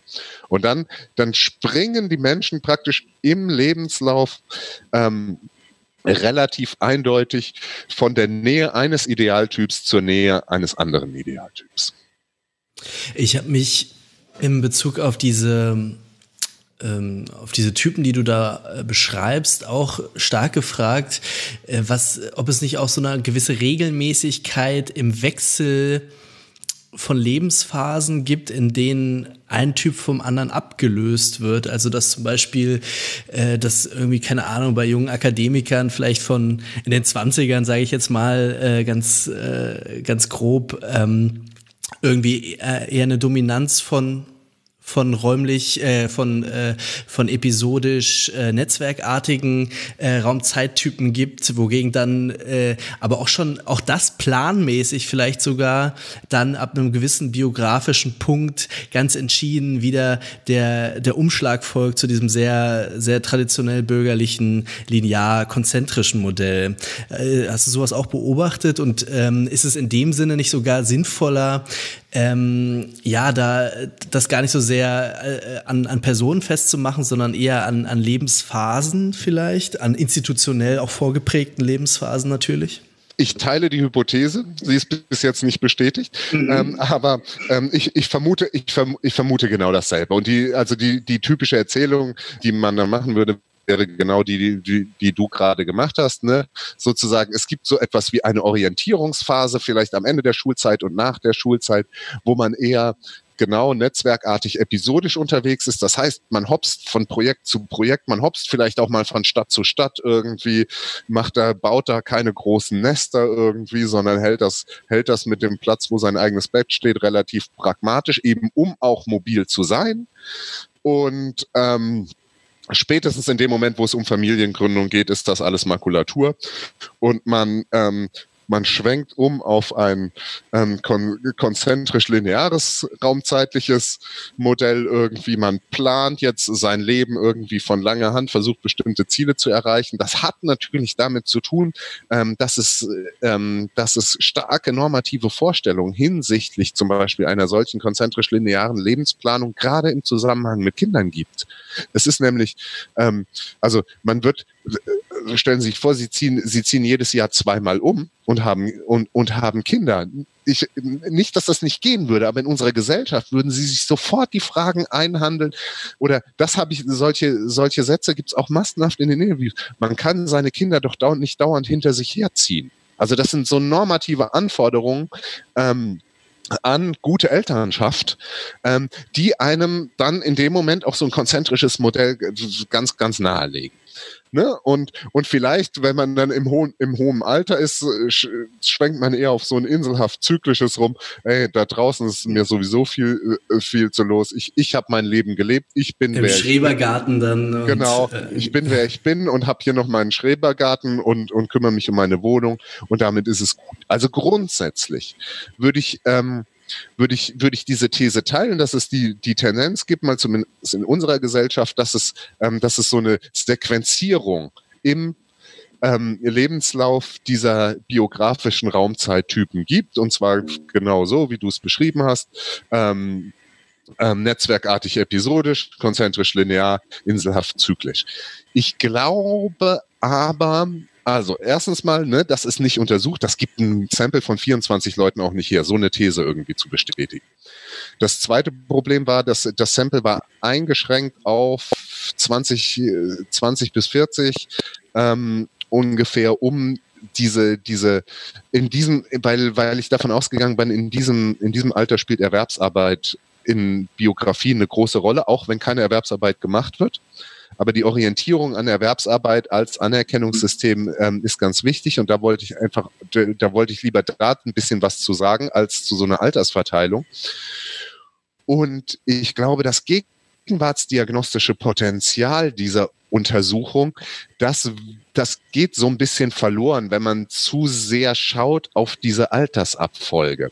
Weil was, was ich glaube, was, ähm, was in dieser Gesellschaft interessant ist, ist, dass man tatsächlich Leute ähm, mit um die 40 und auch, auch, auch noch über 40 findet, die Netzwerke, die ihr Leben im Netzwerkartig episodisch ähm, organisieren.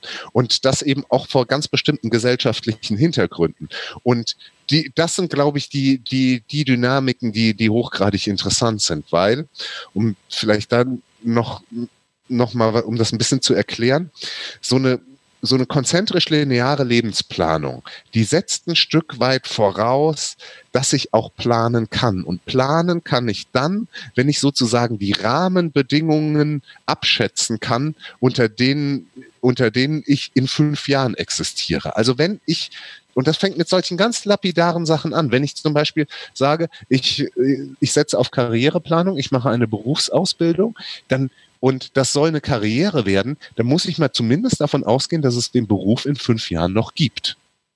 Das hört sich jetzt ein bisschen absurd an, aber 300.000 Setzer Anfang der 80er Jahre wissen zu berichten, dass das keine Selbstverständlichkeit ist. Setzer sind Menschen, die Typen, also Buchstaben ähm, für Druckvorlagen auf Platten ähm, aufgesetzt haben. Das ist der erste Bereich, der in der, in der deutschen Druckindustrie ähm, digitalisiert wurde. Und es waren praktisch innerhalb von zwei, drei Jahren gab es, das war vorher ein anerkannter Ausbildungsberuf, es gab Meister mit allem drum und dran. Und wie gesagt, über 300.000 Menschen in Deutschland haben diesen Beruf ausgeübt und innerhalb von zwei Jahren ist dieser Beruf verschwunden. Wenn Sie sich Anfang der 80er Jahre entschieden haben, eine, ähm, eine Ausbildung zum Setzer zu machen, dann standen Sie Mitte, Ende der 80er Jahre vor dem Nichts. Und ähm, ne, das heißt, also so eine konzentrisch-lineare Lebensplanung unterstellt die Stabilität von institutionellen Rahmenbedingungen, würde man soziologisch sagen, um dieses ganze große Framework irgendwie zu fassen, was, was man da alles. Und die sollen sich möglichst nicht ändern, damit ich vernünftig planen kann damit ich meine Veränderung planen kann. Und wenn wir jetzt, und jetzt äh, lässt sich ganz gut an die These von Hartmut Rosa mit der, mit äh, der Beschleunigung anschließen, wenn man jetzt daran denkt, dass die Haltbarkeit solcher institutionellen Rahmenbedingungen tatsächlich vielleicht schwindet. Also die Berufe schneller veralten, Wissensbestände schneller veralten, die, ne, die Art und Weise, wie man soziales Leben organisiert. Wir merken es gerade ähm, mit ähm, über die Digitalisierung, ähm, wie, wie wie sich das alles verändert, dann wird Planen immer schwieriger. Und dann kommt so ein konzentrisch lineares Lebensmodell tatsächlich unter Druck. Dann wird es nämlich plötzlich rationaler, lieber episodisch zu gucken, was in zwei Jahren denn geht, als jetzt die nächsten fünf Jahre zu planen und dann vor dem Nichts zu stehen. Und das sind die, ähm, die, die, die gesellschaftlichen Wandlungsprozesse, ähm, an denen ich dann ein Stück weit mehr interessiert war, als an dieser ähm, als an dieser Altersthese, an der bestimmt was dran ist und die, von der ich auch glaube, dass sie sich bestimmt bestätigen lässt. Ähm, aber ich glaube auch, dass es zum Beispiel immer wieder notwendig wird, ne, in den, in den Biografien, die Biografien werden immer schlechter planbar. Es kommen dann immer wieder neue Anforderungen. So, jetzt musst du plötzlich eine Bildungsphase einschieben. Du bist zwar 48, aber dein Beruf gibt's nicht mehr. So, und jetzt machst du mal Umschulung. Und das, äh, und, und das machst du mal richtig. Und plötzlich, plötzlich sitzt du wie ein Schüler auf der Schulbank. Dann macht sozusagen eine episodische Lebensführung, kann, kann mehr Sinn für die Personen plötzlich machen, ähm, als weiter an ihrem Planungsmodell festzuhalten. Und ich glaube, dass es da Verschiebungen gibt, die ein Stück weit nahegelegt haben, ähm, dass dieses klassisch moderne, würde ich jetzt mal sagen, konzentrisch lineare Lebensmodell ein Stück weit unter Druck gerät. Ähm, dazu habe ich eine Frage, die nochmal ähm, so ein bisschen von dem Gegenwarts- äh, oder, oder äh, gesellschaftsdiagnostischen, auf das wir auf jeden Fall nochmal zurückkommen können, aber nochmal das so ein bisschen weitet, nämlich mit der allgemeinen Frage. Bisher klang das zumindest in meinen Ohren viel so, ja, da gibt's verschiedene Typen, ähm, die sich das auch irgendwie im weitesten Sinne aussuchen können, äh, was sie eben für, für einen Typ dann auch sind. Ähm, das kann mal schiefgehen, wenn zum Beispiel da, ähm, ja, extern irgendwie die Karriere beendet wird, warum auch immer. Aber ansonsten hat man quasi doch irgendwie so Objekte, die eine relativ große Freiheit haben in ihrer Lebensgestaltung und sich dann eben aussuchen können, machen sie halt eine Ausbildung bei, bei der Sparkasse, jetzt mal ganz klassisch, und äh, bauen dann ihr Häusle, äh, äh gründen die Familie oder ziehen sie halt nach Berlin und ähm, ja, bauen sich hier eben das Berliner äh, Leben so auf. Äh, aber das setzt ja schon voraus, dass da eine relativ große Verfügbarkeit äh, über diese Bestimmungen Bestände ist. Man kann sich ja genauso gut fragen, okay, wie ist das äh, in anderen Zusammenhängen, wenn eben genau diese, ähm, diese, äh, ja, dieses Vermögen nicht auch vor allem, das kommt dann auch noch dazu, für relativ große Teile der Bevölkerung auch so verteilt ist, dass ich im Wesentlichen die meisten Leute das überhaupt gar nicht raussuchen können. Jetzt hast du schon angedeutet, okay, unter bestimmten institutionellen Voraussetzungen äh, wird eigentlich eher ja dieses projektmäßige nicht so genau in die Zukunft blicken können, dann zu einem ja, zu einem gewissen Druck äh, oder, oder zu einem gewissen Zwang fast ähm, äh, der Konstitution. Wird das thematisiert in diesen Interviews, dass man auch sozusagen Räume konstituiert, die man eigentlich gar nicht äh, konstituieren will, also Raum und, und Zeiten? Gibt, eine, gibt ein bisschen verschiedene, äh, verschiedene Ebenen, glaube ich, dieser Frage, um mal am Anfang einzusteigen. Das wäre so ein Stück weit die Frage, in wie inwieweit ähm, sozusagen ist das ne, sowas wie individuell subjektive Wahl irgendwie, welcher Raumzeittyp ich jetzt bin. Und ähm, ne, das, äh, der, im, im Hintergrund steht so, so ein bisschen auch das Subjektverständnis irgendwie, mit, mit dem man an, an, so eine, ähm, an so eine Geschichte rangeht. Und ähm, da komme ich jetzt erstmal irgendwie aus der pragmatischen Philosophie und die sagt schon mal irgendwie, naja, es gibt kein der Gesellschaft vorrangiges Subjekt. Ähm, also das sind, das sind auch Modelle oder Ideen des Selbst, wie sie von George Herbert Mead entwickelt worden sind. Die sagen irgendwie, das Selbst bildet sich sozusagen in einem gesellschaftlichen Kontext und ähm, die, die Entstehung eines Selbst hat schon zu tun auch mit der Reaktion auf gesellschaftliche Erwartungshaltung. Und ähm, ohne das ist ein, ohne, ohne und das ist die, diese, dieses Einfließen gesellschaftliche Erwartungshaltung in das eigene Selbst. Ähm, anders ist Menschwerdung gar nicht vorstellbar. Also es gibt nicht zuerst Menschen, die dann eine Gesellschaft machen, ähm, sondern es gibt auch eine Gesellschaft, die Menschen macht. Also eine bestimmte Subjektivität. Ähm, produziert, würde man jetzt poststrukturalistisch mit Foucault sagen. Also das wäre erstmal das, das, das Verständnis von dem Subjekt. Ähm, und da, das macht natürlich schon klar, hallo, ähm, okay, das ist jetzt irgendwie nicht, nicht frei aussuchbar, welchen, ähm, welchen Raumzeittyp ich habe, sondern das hatte ich vorhin, das habe ich vorhin schon angedeutet. Ne? Die, die Gesellschaft hat ganz bestimmte Erwartungshaltung und hat auch für bestimmte Lebenssituationen ganz bestimmte Erwartungshaltung. Ne? Also von, von Menschen, die Familien gründet, wird in dieser Gesellschaft im Grunde immer noch erwartet, konzentrisch lineare Lebensmodelle zu haben. Wobei das manchmal ein bisschen mit, der, mit, mit dem konzentrisch teilweise so ein bisschen, ähm, ein bisschen auseinanderfällt, weil man, weil man sagt irgendwie, du sollst zwar deine Karriereplanung haben, du sollst aber räumlich beliebig mobil sein. Das sind die Leute aber tatsächlich nicht. Also die, die Leute versuchen nämlich zu Hause zu konstituieren ähm, für sich und ihre, ihre Familie und ähm, ge geraten dann tatsächlich so, so ein bisschen, können auch in Konflikt geraten mit solchen, Gesellschaft, mit solchen gesellschaftlichen Ansprüchen. Aber grundsätzlich ähm, gibt es, gibt es erstmal, ähm, sind diese Raumzeittypen insofern schon mal nicht frei gewählt, als dass es natürlich ähm, diskursive Angebote der Gesellschaft gibt, irgendwie, wie man sein Leben führen kann. Und die laufen im Sozialisationsprozess irgendwie, ähm, machen die schon was mit den Menschen. Das ist die erste Ebene. Und die zweite Ebene, solche, solche biografischen Raumzeitkonstitutionen, die reagieren auf Herausforderungen, die, denen die Menschen in ihrer ähm, in, in ihrem Leben tatsächlich begegnen. Also das, äh, das versuchte ich anzudeuten mit, es hat eine gewisse Rationalität unter bestimmten Bedingungen, eher netzwerkartig episodisch, ähm, mein, mein, mein Leben zu führen, als konzentrisch linear. Wenn ich nämlich nicht erwarten kann, dass die institutionellen Rahmenbedingungen stabil genug sind, dass sie mir langfristige Planung ermöglichen, dann ähm, versuche ich das, äh, ich das eher ähm, episodisch. Ne? Das, das denkt man sich nicht so aus, aber dann verzichtet man halt auf die langfristigen Pläne und sagt solche Sätze wie, ja, dann gucke ich mal, was in zwei Jahren so geht. Genau, das wäre so ein, so ein typisch episodischer, so ein typischer Kennungssatz für jemanden, der, der eher episodisch biografisiert. Das heißt, wir haben, wir haben auf zwei Ebenen spielt die Gesellschaft die entscheidende Rolle, nämlich einmal in Frage der Sozialisation, was sind überhaupt legitime Raumzeitkonstitutionen irgendwie, und die mit gesellschaftlichen Erwartungshaltungen zusammenpassen. Und das zweite irgendwie, welche Raumzeitkonstitution sind, sind, die, sind eine gute Antwort auf die, die, die gesellschaftlichen Herausforderungen, die, die mir in meinem Leben tatsächlich begegnen. Das, und das ist das, woran ich interessiert bin. Ich bin immer noch Soziologe, ne?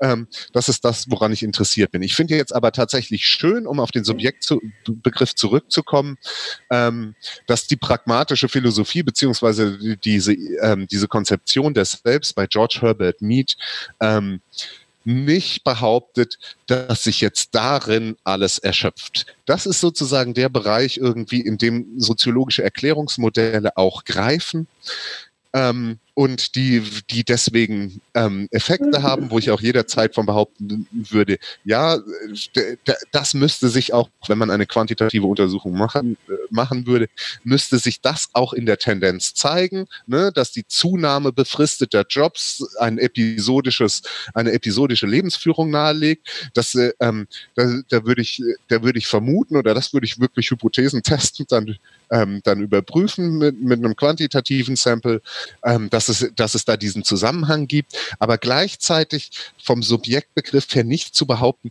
damit ist für den einzelnen Menschen ist sein Leben damit erzählt. So nach dem Motto, sag mir irgendwie, in welchen Umständen du lebst, was dein sozioökonomischer Status ist, der, deine, der deines Elternhauses irgendwie und ich sag dir, wie du, wie du biografisierst und, und das war's. Sondern ähm, bei dieser Idee des Selbst von George George Herbert Mead gibt es tatsächlich noch einen Anteil, der relativ unreglementiert ist, der irgendwas mit Vorlieben zu tun hat. Vielleicht kann da die Psychologie als eine andere Wissenschaft auch tiefer reingucken. Das, das kann gut sein. Und das, das nicht dass wir nicht irgendwie im Grunde genommen Abziehbilder gesellschaftlicher Verhältnisse nur sind, sondern ähm, dass, es, dass es noch irgendetwas ist, was zumindest soziologisch gar nicht erklärbar ist. Und das, äh, das ist so ein bisschen auch so eine Zurücknahme der Zuweisung irgendwie dieser Typologie und dieser, dieser Vorstellung ähm, von, von so machen wir das auf einzelne, auf einzelne Köpfe. Ne? Das kann ich, das gibt's nur ex post, aber zu sagen irgendwie, ah, der lebt unter den und den Bedingungen, der wird garantiert netzwerkartig episodisch, das ist, glaube ich, Quatsch, weil, weil es vielleicht noch irgendwelche vollkommen unerklärbaren Vorlieben oder sonst was in Menschen gibt, die das Ganze vielleicht nochmal auf den Kopf stellen können. Vielleicht noch eine andere Ebene, die ähm, zumindest noch im Gegenstandsbereich ähm, des Soziologischen liegt, ist trotzdem so, eine, so ein Bruch vielleicht. Ähm, ähm, also wir haben zwar gesagt, okay, die Typen waren, du hast auch gesagt, überraschend gut ähm, zurechenbar. Ich habe mich jetzt an sowas gefragt, vielleicht bestimmte Urlaubsphasen, die sind wahrscheinlich für die Biografie zu kurz, aber man könnte sich ja auch bestimmte Imaginationen vorstellen, dass äh, auch in der Biografie zumindest imaginierte äh, äh, sozusagen Konstitutionen sich die Leute vorstellen und sagen, okay, ich hätte mir vielleicht auch doch vorstellen können, ich könnte jetzt auch diesen ganz normalen äh, Lebensentwurf haben. Also gibt es auch sozusagen in dem, in dem Material und in den ähm, Konstitutionen auch doch so, so eine, ja, so, so ein Bruch an, an, an verschiedenen Stellen. Hast du da vielleicht was gefunden? Mm, ja, aber äh, also gibt, gibt es tatsächlich, ähm, aber äh, ähm, du hast äh, ne, die, die erste Antwort, die ich geben, hast du ein Stück weit im Grunde auch schon selber gegeben mit dem mit dem Verweis mit dem Verweis auf Biografie. Ne? Diese ähm, diese ähm, diese Perspektivität, die ich dann, die ich dann wirklich genau, genau untersucht habe, ist, ist diese Perspektive auf das eigene Leben als Gesamtheit. Und ähm, da ist es dann tatsächlich so, dass die Urlaubsreise, äh, dass der Urlaub, solange er als Urlaub ist, tatsächlich als ähm, ähm, als Episode in die Gesamtheit des Lebens eingebaut, ähm, eingebaut ist und aber, aber dann selber ne, an, dem, an dem biografischen Modell nicht macht. Es gibt aber natürlich Reisen, die, die sehr wohl irgendwie, ne, zum Beispiel andere Vorstellungen irgendwie von, von, von Lebensführung den Leuten nahebringen. Interessant ist, dass die Menschen dann genau nicht mehr über Urlaub sprechen, sondern tatsächlich über Reisen. Also da, da gibt's da gibt's so eine feine, zumindest im Deutschen, so eine, so eine feine Konnotation irgendwie. Auf Reisen sein ist was anderes als im Urlaub sein.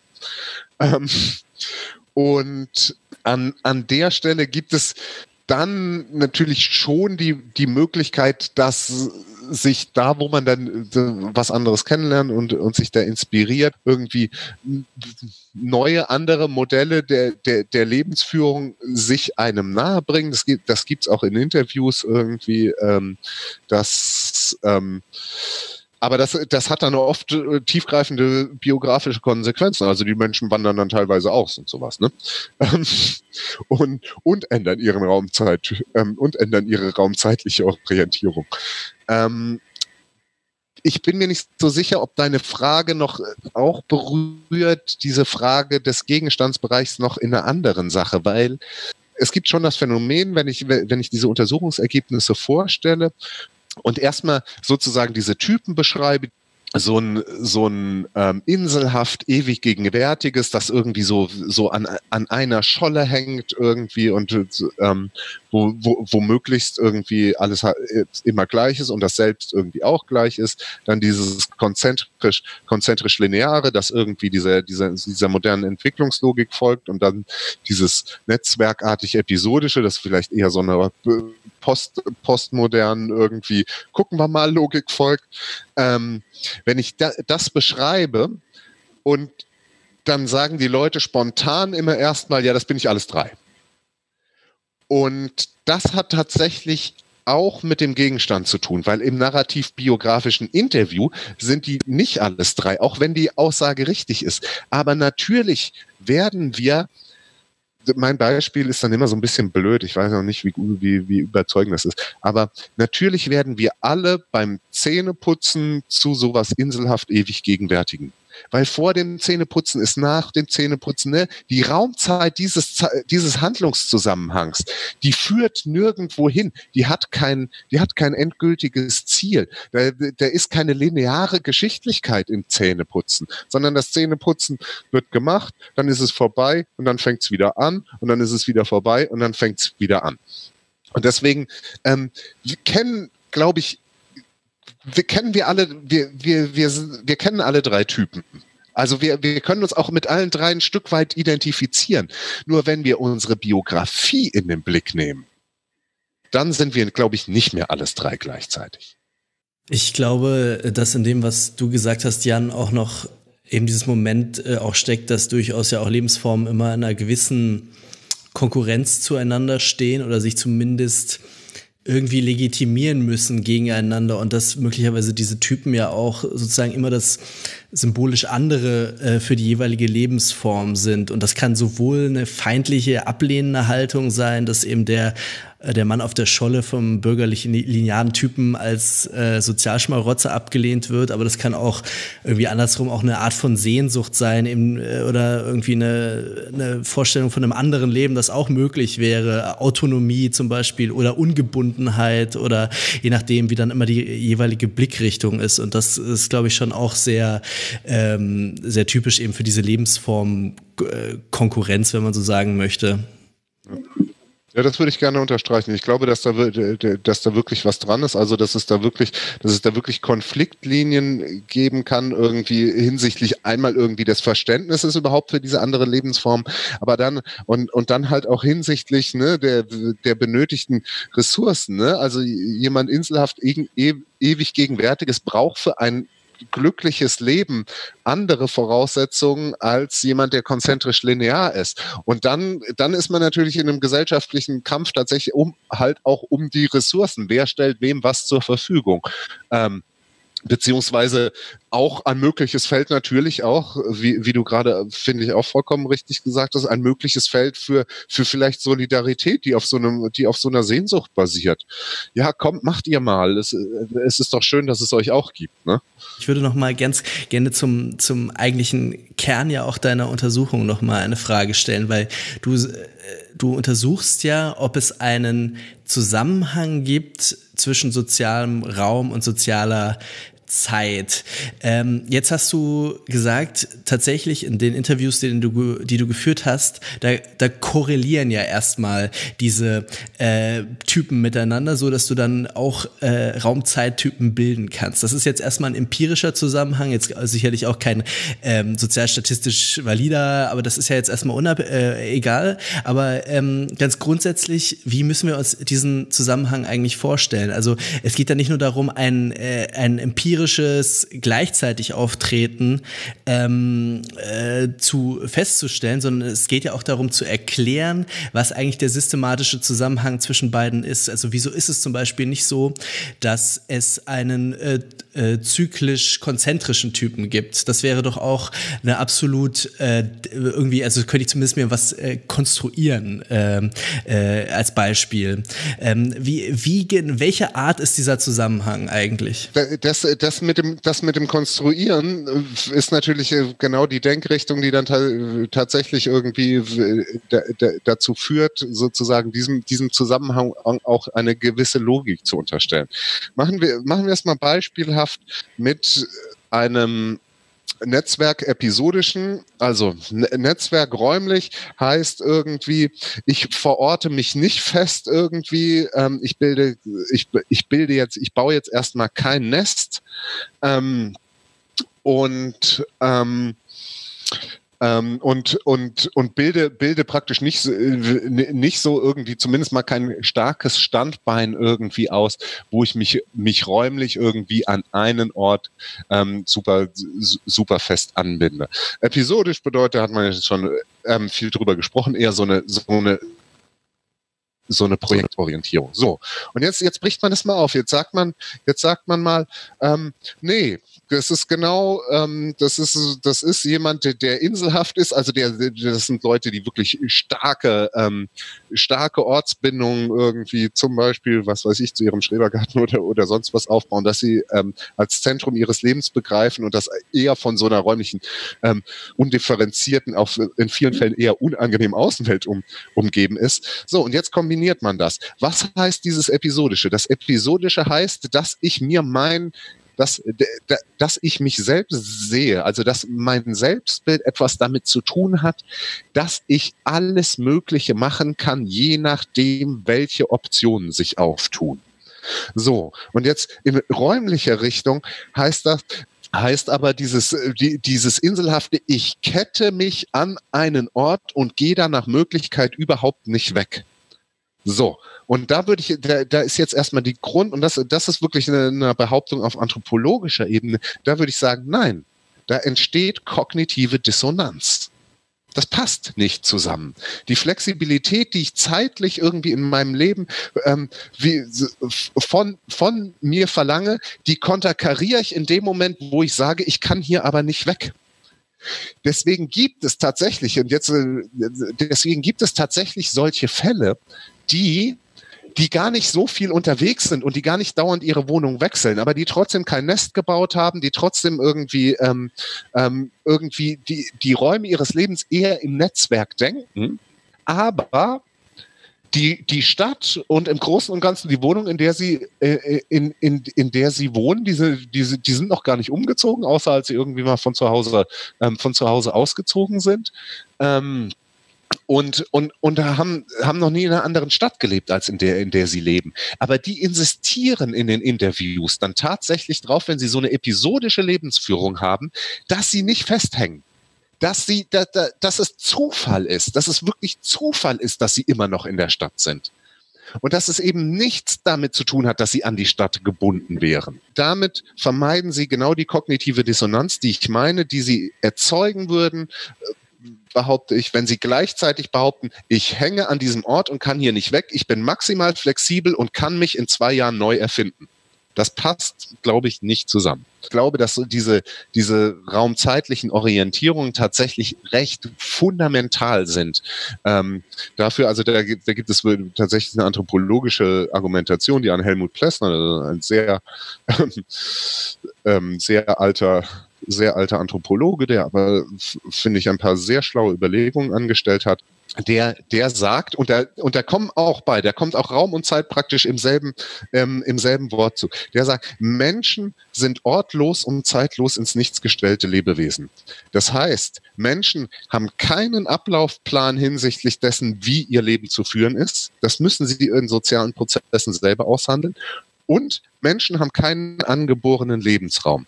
Das heißt, und deswegen wird dieses Argument tatsächlich anthropologisch an der Stelle, ähm, wenn, wenn da was dra dran ist, dass wir keine instinktiven Ablaufprogramme haben, die unser Leben sowieso strukturieren, dann brauchen, bräuchten wir gar keine Geschichtlichkeit zu entwickeln, wenn wir die komplett hätten.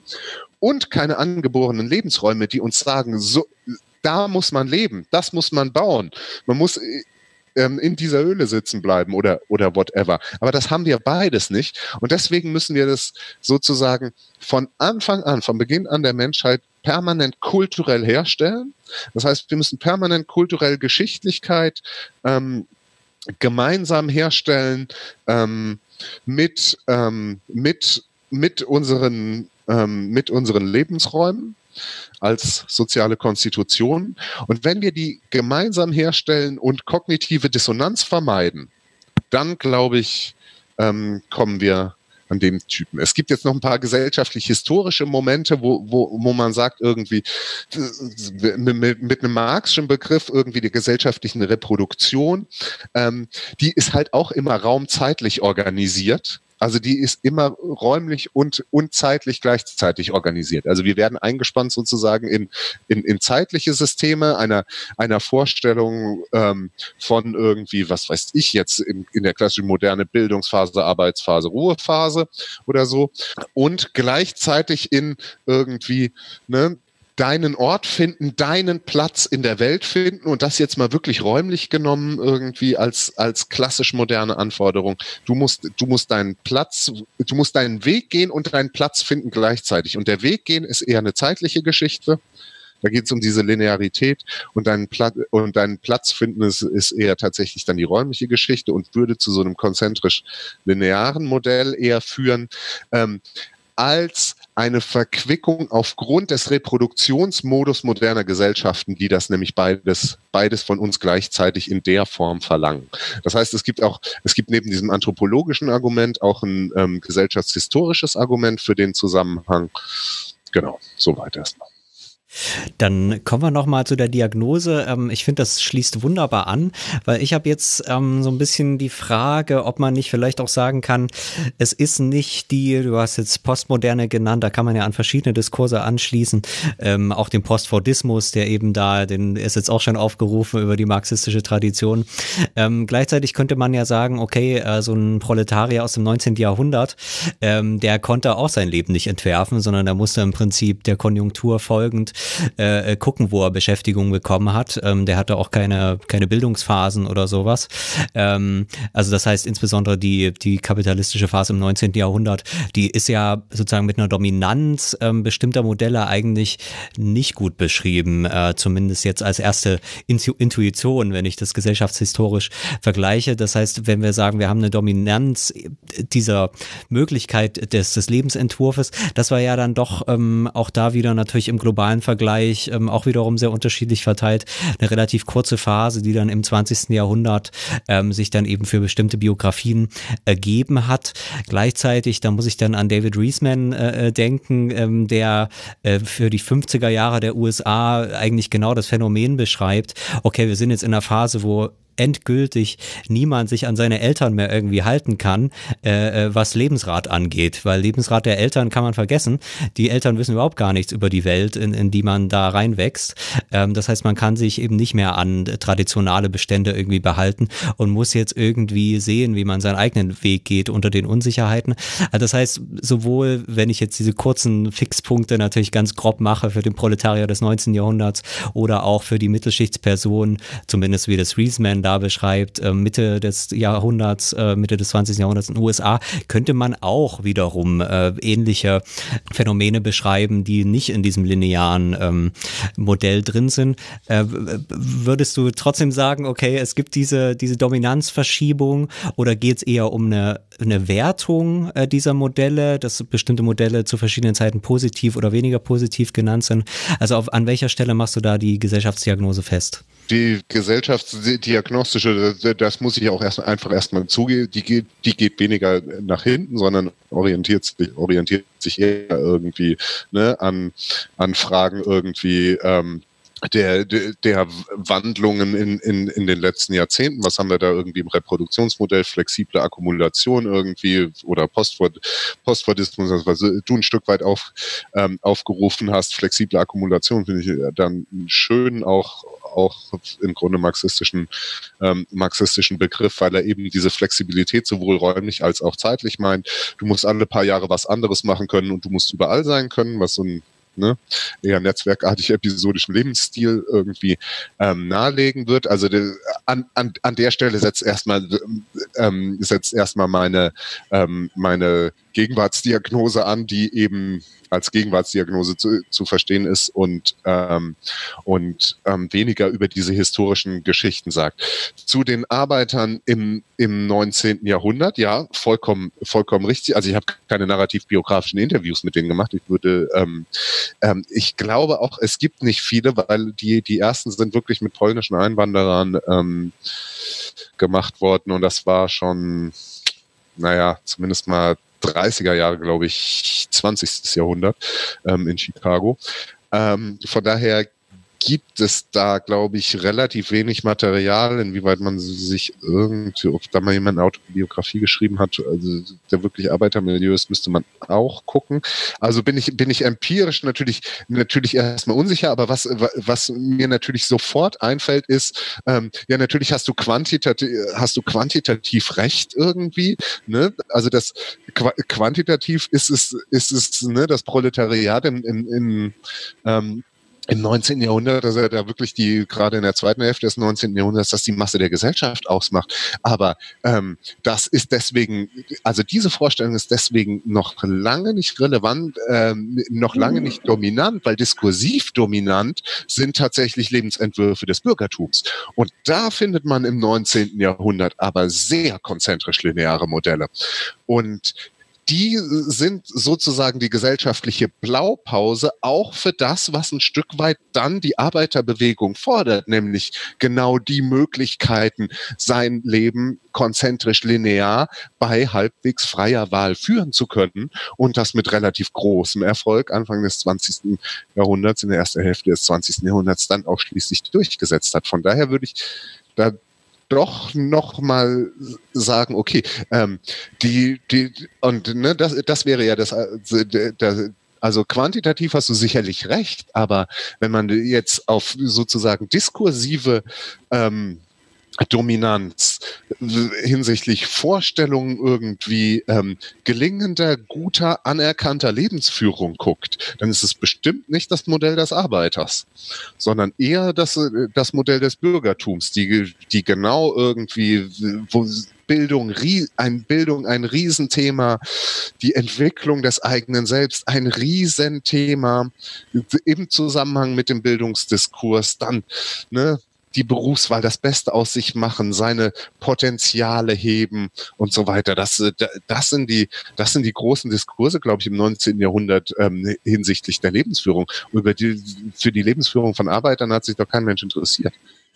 Ja, äh, das verstehe ich. Ja, ich glaube, es ist auch tatsächlich so ein bisschen das, das, das Ziel. Also es war natürlich auch im, im Verlauf dann ähm, der, der sozialen Bewegungen, gab es zwar so ein paar Utopiker, glaube ich, die auch schon so ein bisschen dieses postmoderne Modell hatten, auch mhm. in den 10er und 20er Jahren. Ja, man bräuchte eigentlich eine ja. sozialistische Weltgesellschaft, wo ich heute hier, morgen da sein kann.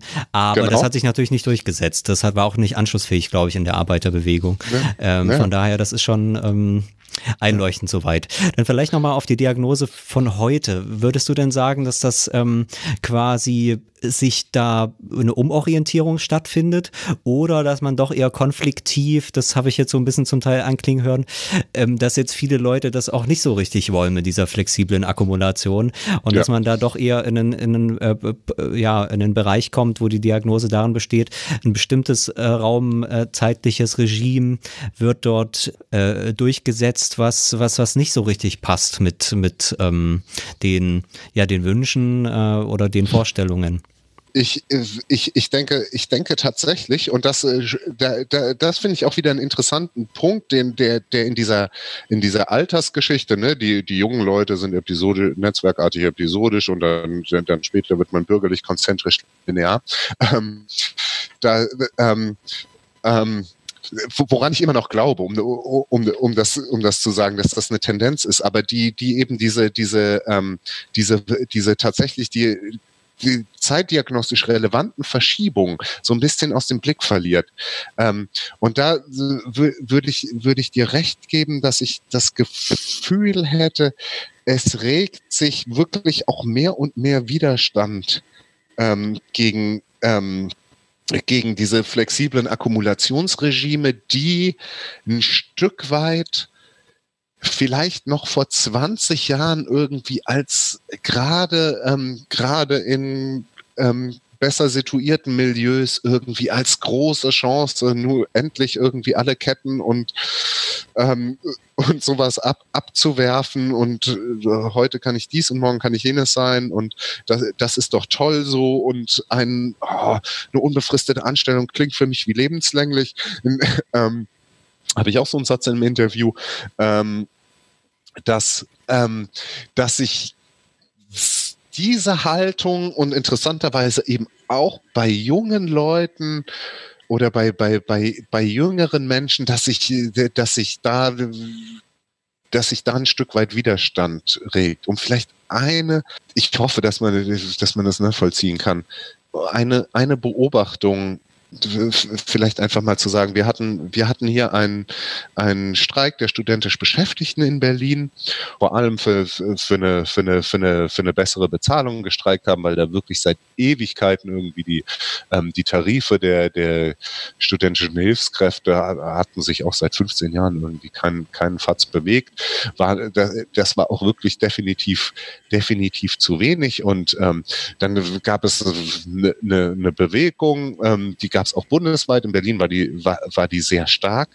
Und im Zuge dieser Bewegung treten Tausende von studentisch Beschäftigten in die Gewerkschaften ein und garnieren ihre Protestaktionen optisch mit Verdi-Westen und gehen in so einen klassisch modernen Tarifkonflikt, der damit zu tun hat, irgendwie ähm, sichere Zukunftserwartungen haben zu können, sicheres Einkommen haben zu können und der, der sozusagen das, was ich vorhin zu den institutionellen Rahmenbedingungen sagt, hier stabilisiert mal sozusagen irgendwie die, die Rahmenbedingungen unseres Lebens. Diesen, diesen Eindruck hat es für mich gemacht.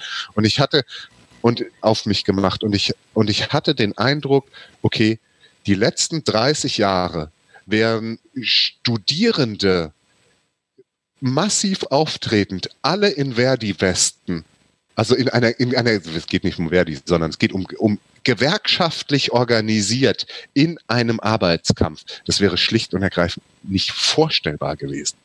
Also, ne, vor, vor 20 Jahren waren, waren, waren Gewerkschaften das allerletzte, wofür man sich irgendwie als junger Studierender interessiert hat. Und die Gewerkschaften kämpfen genau einen Kampf, der eher im Sinne irgendwie der, der Chancen irgendwie auf eine konzentrisch lineare Lebensführung geht. Und da habe ich schon den Eindruck, ähm, ja, da regt sich, da regt sich auch Widerstand und da sagen auch die jungen Leute, ach ja, so ein bisschen Flexibilität ist schon schön, aber ähm, eine absehbare Lebensplanung in, oder ein Leben zu führen, in dem ich langfristig planen kann, das ist ein, das, das ist ein hohes Gut und jetzt, jetzt hört mal auf mit dieser, mit diesem postmodernen Quatsch. Also eine Konkurrenz doch, äh, die jetzt äh, sich wieder äh, so ein bisschen ähm, verschiebt, sagen wir es mal so. Mhm. Vielleicht, ja, äh, das, da hatte ich wirklich den Eindruck irgendwie, gerade in, gerade in den letzten Jahren. Ähm, vielleicht noch eine Frage, ähm, die so ein bisschen technisch ist. Ähm, ich habe gedacht, bei vielen von diesen Typen, und du hast es selber schon gesagt, die würden quantitativ eigentlich auch sehr gut funktionieren. Da kann man eine richtig mhm. gute kleine Batterie draus machen. Ähm, da, also äh, ich finde, da kann man auch manche, auch von den Sätzen, die du jetzt aus den Interviews zitiert hast, ähm, heute bin ich hier, morgen bin ich dort oder äh, äh Beschäftigung, äh, äh, äh, ähm, unbefristete Beschäftigung ist lebenslänglich. Das kann man ja alles auch gut in einem, in einem Fragebogen machen. Äh, hast du da vielleicht auch was gefunden? Wurde das mal gemacht oder ähm, ja, was, ähm, was würdest du dazu sagen? Die Idee finde ich hochgradig plausibel. Ähm, es gibt ein, ein, ein Lehrforschungsprojekt irgendwie, das ich zusammen mit Studierenden ähm, mal initiiert habe, wo wir angefangen haben, einen solchen Fragebogen zu entwerfen, aber das ist wirklich nicht, nicht ganz lapidar, aber es geht genau darum, irgendwie solche, solche Sätze zu finden, die, die, ähm, die im Grunde ähm, zentrale Sätze irgendwie für so ein raumzeitliches Lebensführungsmodell sind irgendwie und dann dazu Zustimmung abzufragen. So ist es, glaube ich, tatsächlich möglich, einen quantitativen Fragebogen zu entwerfen, der solche raumzeitlichen biografischen Orientierungen messen kann. Das ist mit das ist, ist sehr, sehr aufwendig, es ist mit großen Schwierigkeiten gespickt und die Idee wäre tatsächlich ein Projektantrag zu schreiben, weil da muss man auch einfach Ressourcen für haben, um dann entsprechende Testsamples zu machen. Damals in diesem Lehrforschungsprojekt sind wir bis zu einem ersten kleinen Fragebogen gekommen, der auch ähm, tatsächlich jetzt auch nicht in einem repräsentativen Sample, aber immerhin in einem, in einem gewichteten Sample, also wir hatten ein paar unterschiedliche Leute drin, der tatsächlich irgendwie ähm, an einigen Stellen irgendwie diesen, diesen Zusammenhang zwischen diesen räumlichen und zeitlichen Orientierungen auch ein Stück weit quantitativ schon, ähm, schon zeigen konnte. Ähm, aber wie gesagt, da bräuchte es, da bräuchte es eigentlich ähm, ein richtiges Forschungs, äh, ein richtiges Forschungsprojekt mit mehr Ressourcen und das würde sich es, ich fände es total reizvoll, ähm, das nochmal auf den Weg zu bringen, ja. Ja, das hoffe ich. Also ich habe bei vielen Sachen gerade auch die Arbeitszufriedenheit und, und viele solche Sachen, die eben ja nicht einfach durch die Sozialstruktur oder durch einfache Zufriedenheitsskalen oder sowas erfassbar sind. Ähm, da wäre das, glaube ich, eine unheimliche Bereicherung auch ähm, für ja. ganz unterschiedliche Forschungsfragen, äh, ja. wenn man da sozusagen ein gutes quantitatives Instrument hat. Aber ja, ähm, ja das kann ja noch werden dann. Ja, das, äh, äh, jetzt begeben wir uns mal auf diese klassische lineare Geschichte und planen genau. dann mal in die Zukunft. Sehr schön. Dann herzlichen Dank, äh, Gunther, für diese ausführlichen Informationen. Das war mal wieder sehr anregend. Ähm, natürlich ähm, dann auch viel Erfolg jetzt für die nächste Zeit. Das ist ja alles nicht sehr einfach. Ja, ich möchte mich auch ganz herzlich für, für das Gespräch bedanken. Das hat viel Spaß gemacht und ja, und auch für euer Interesse. Dankeschön. Ja, immer wieder gern. Dann äh, nochmal der Hinweis, äh, wenn euch die Folge gefallen hat, dann teilt sie doch in den sozialen Medien eurer Wahl oder erzählt ähm, ja, eurem Netzwerk davon. Ähm, dann bis zur nächsten Folge von Das Neue Berlin. Tschüss. Macht's gut.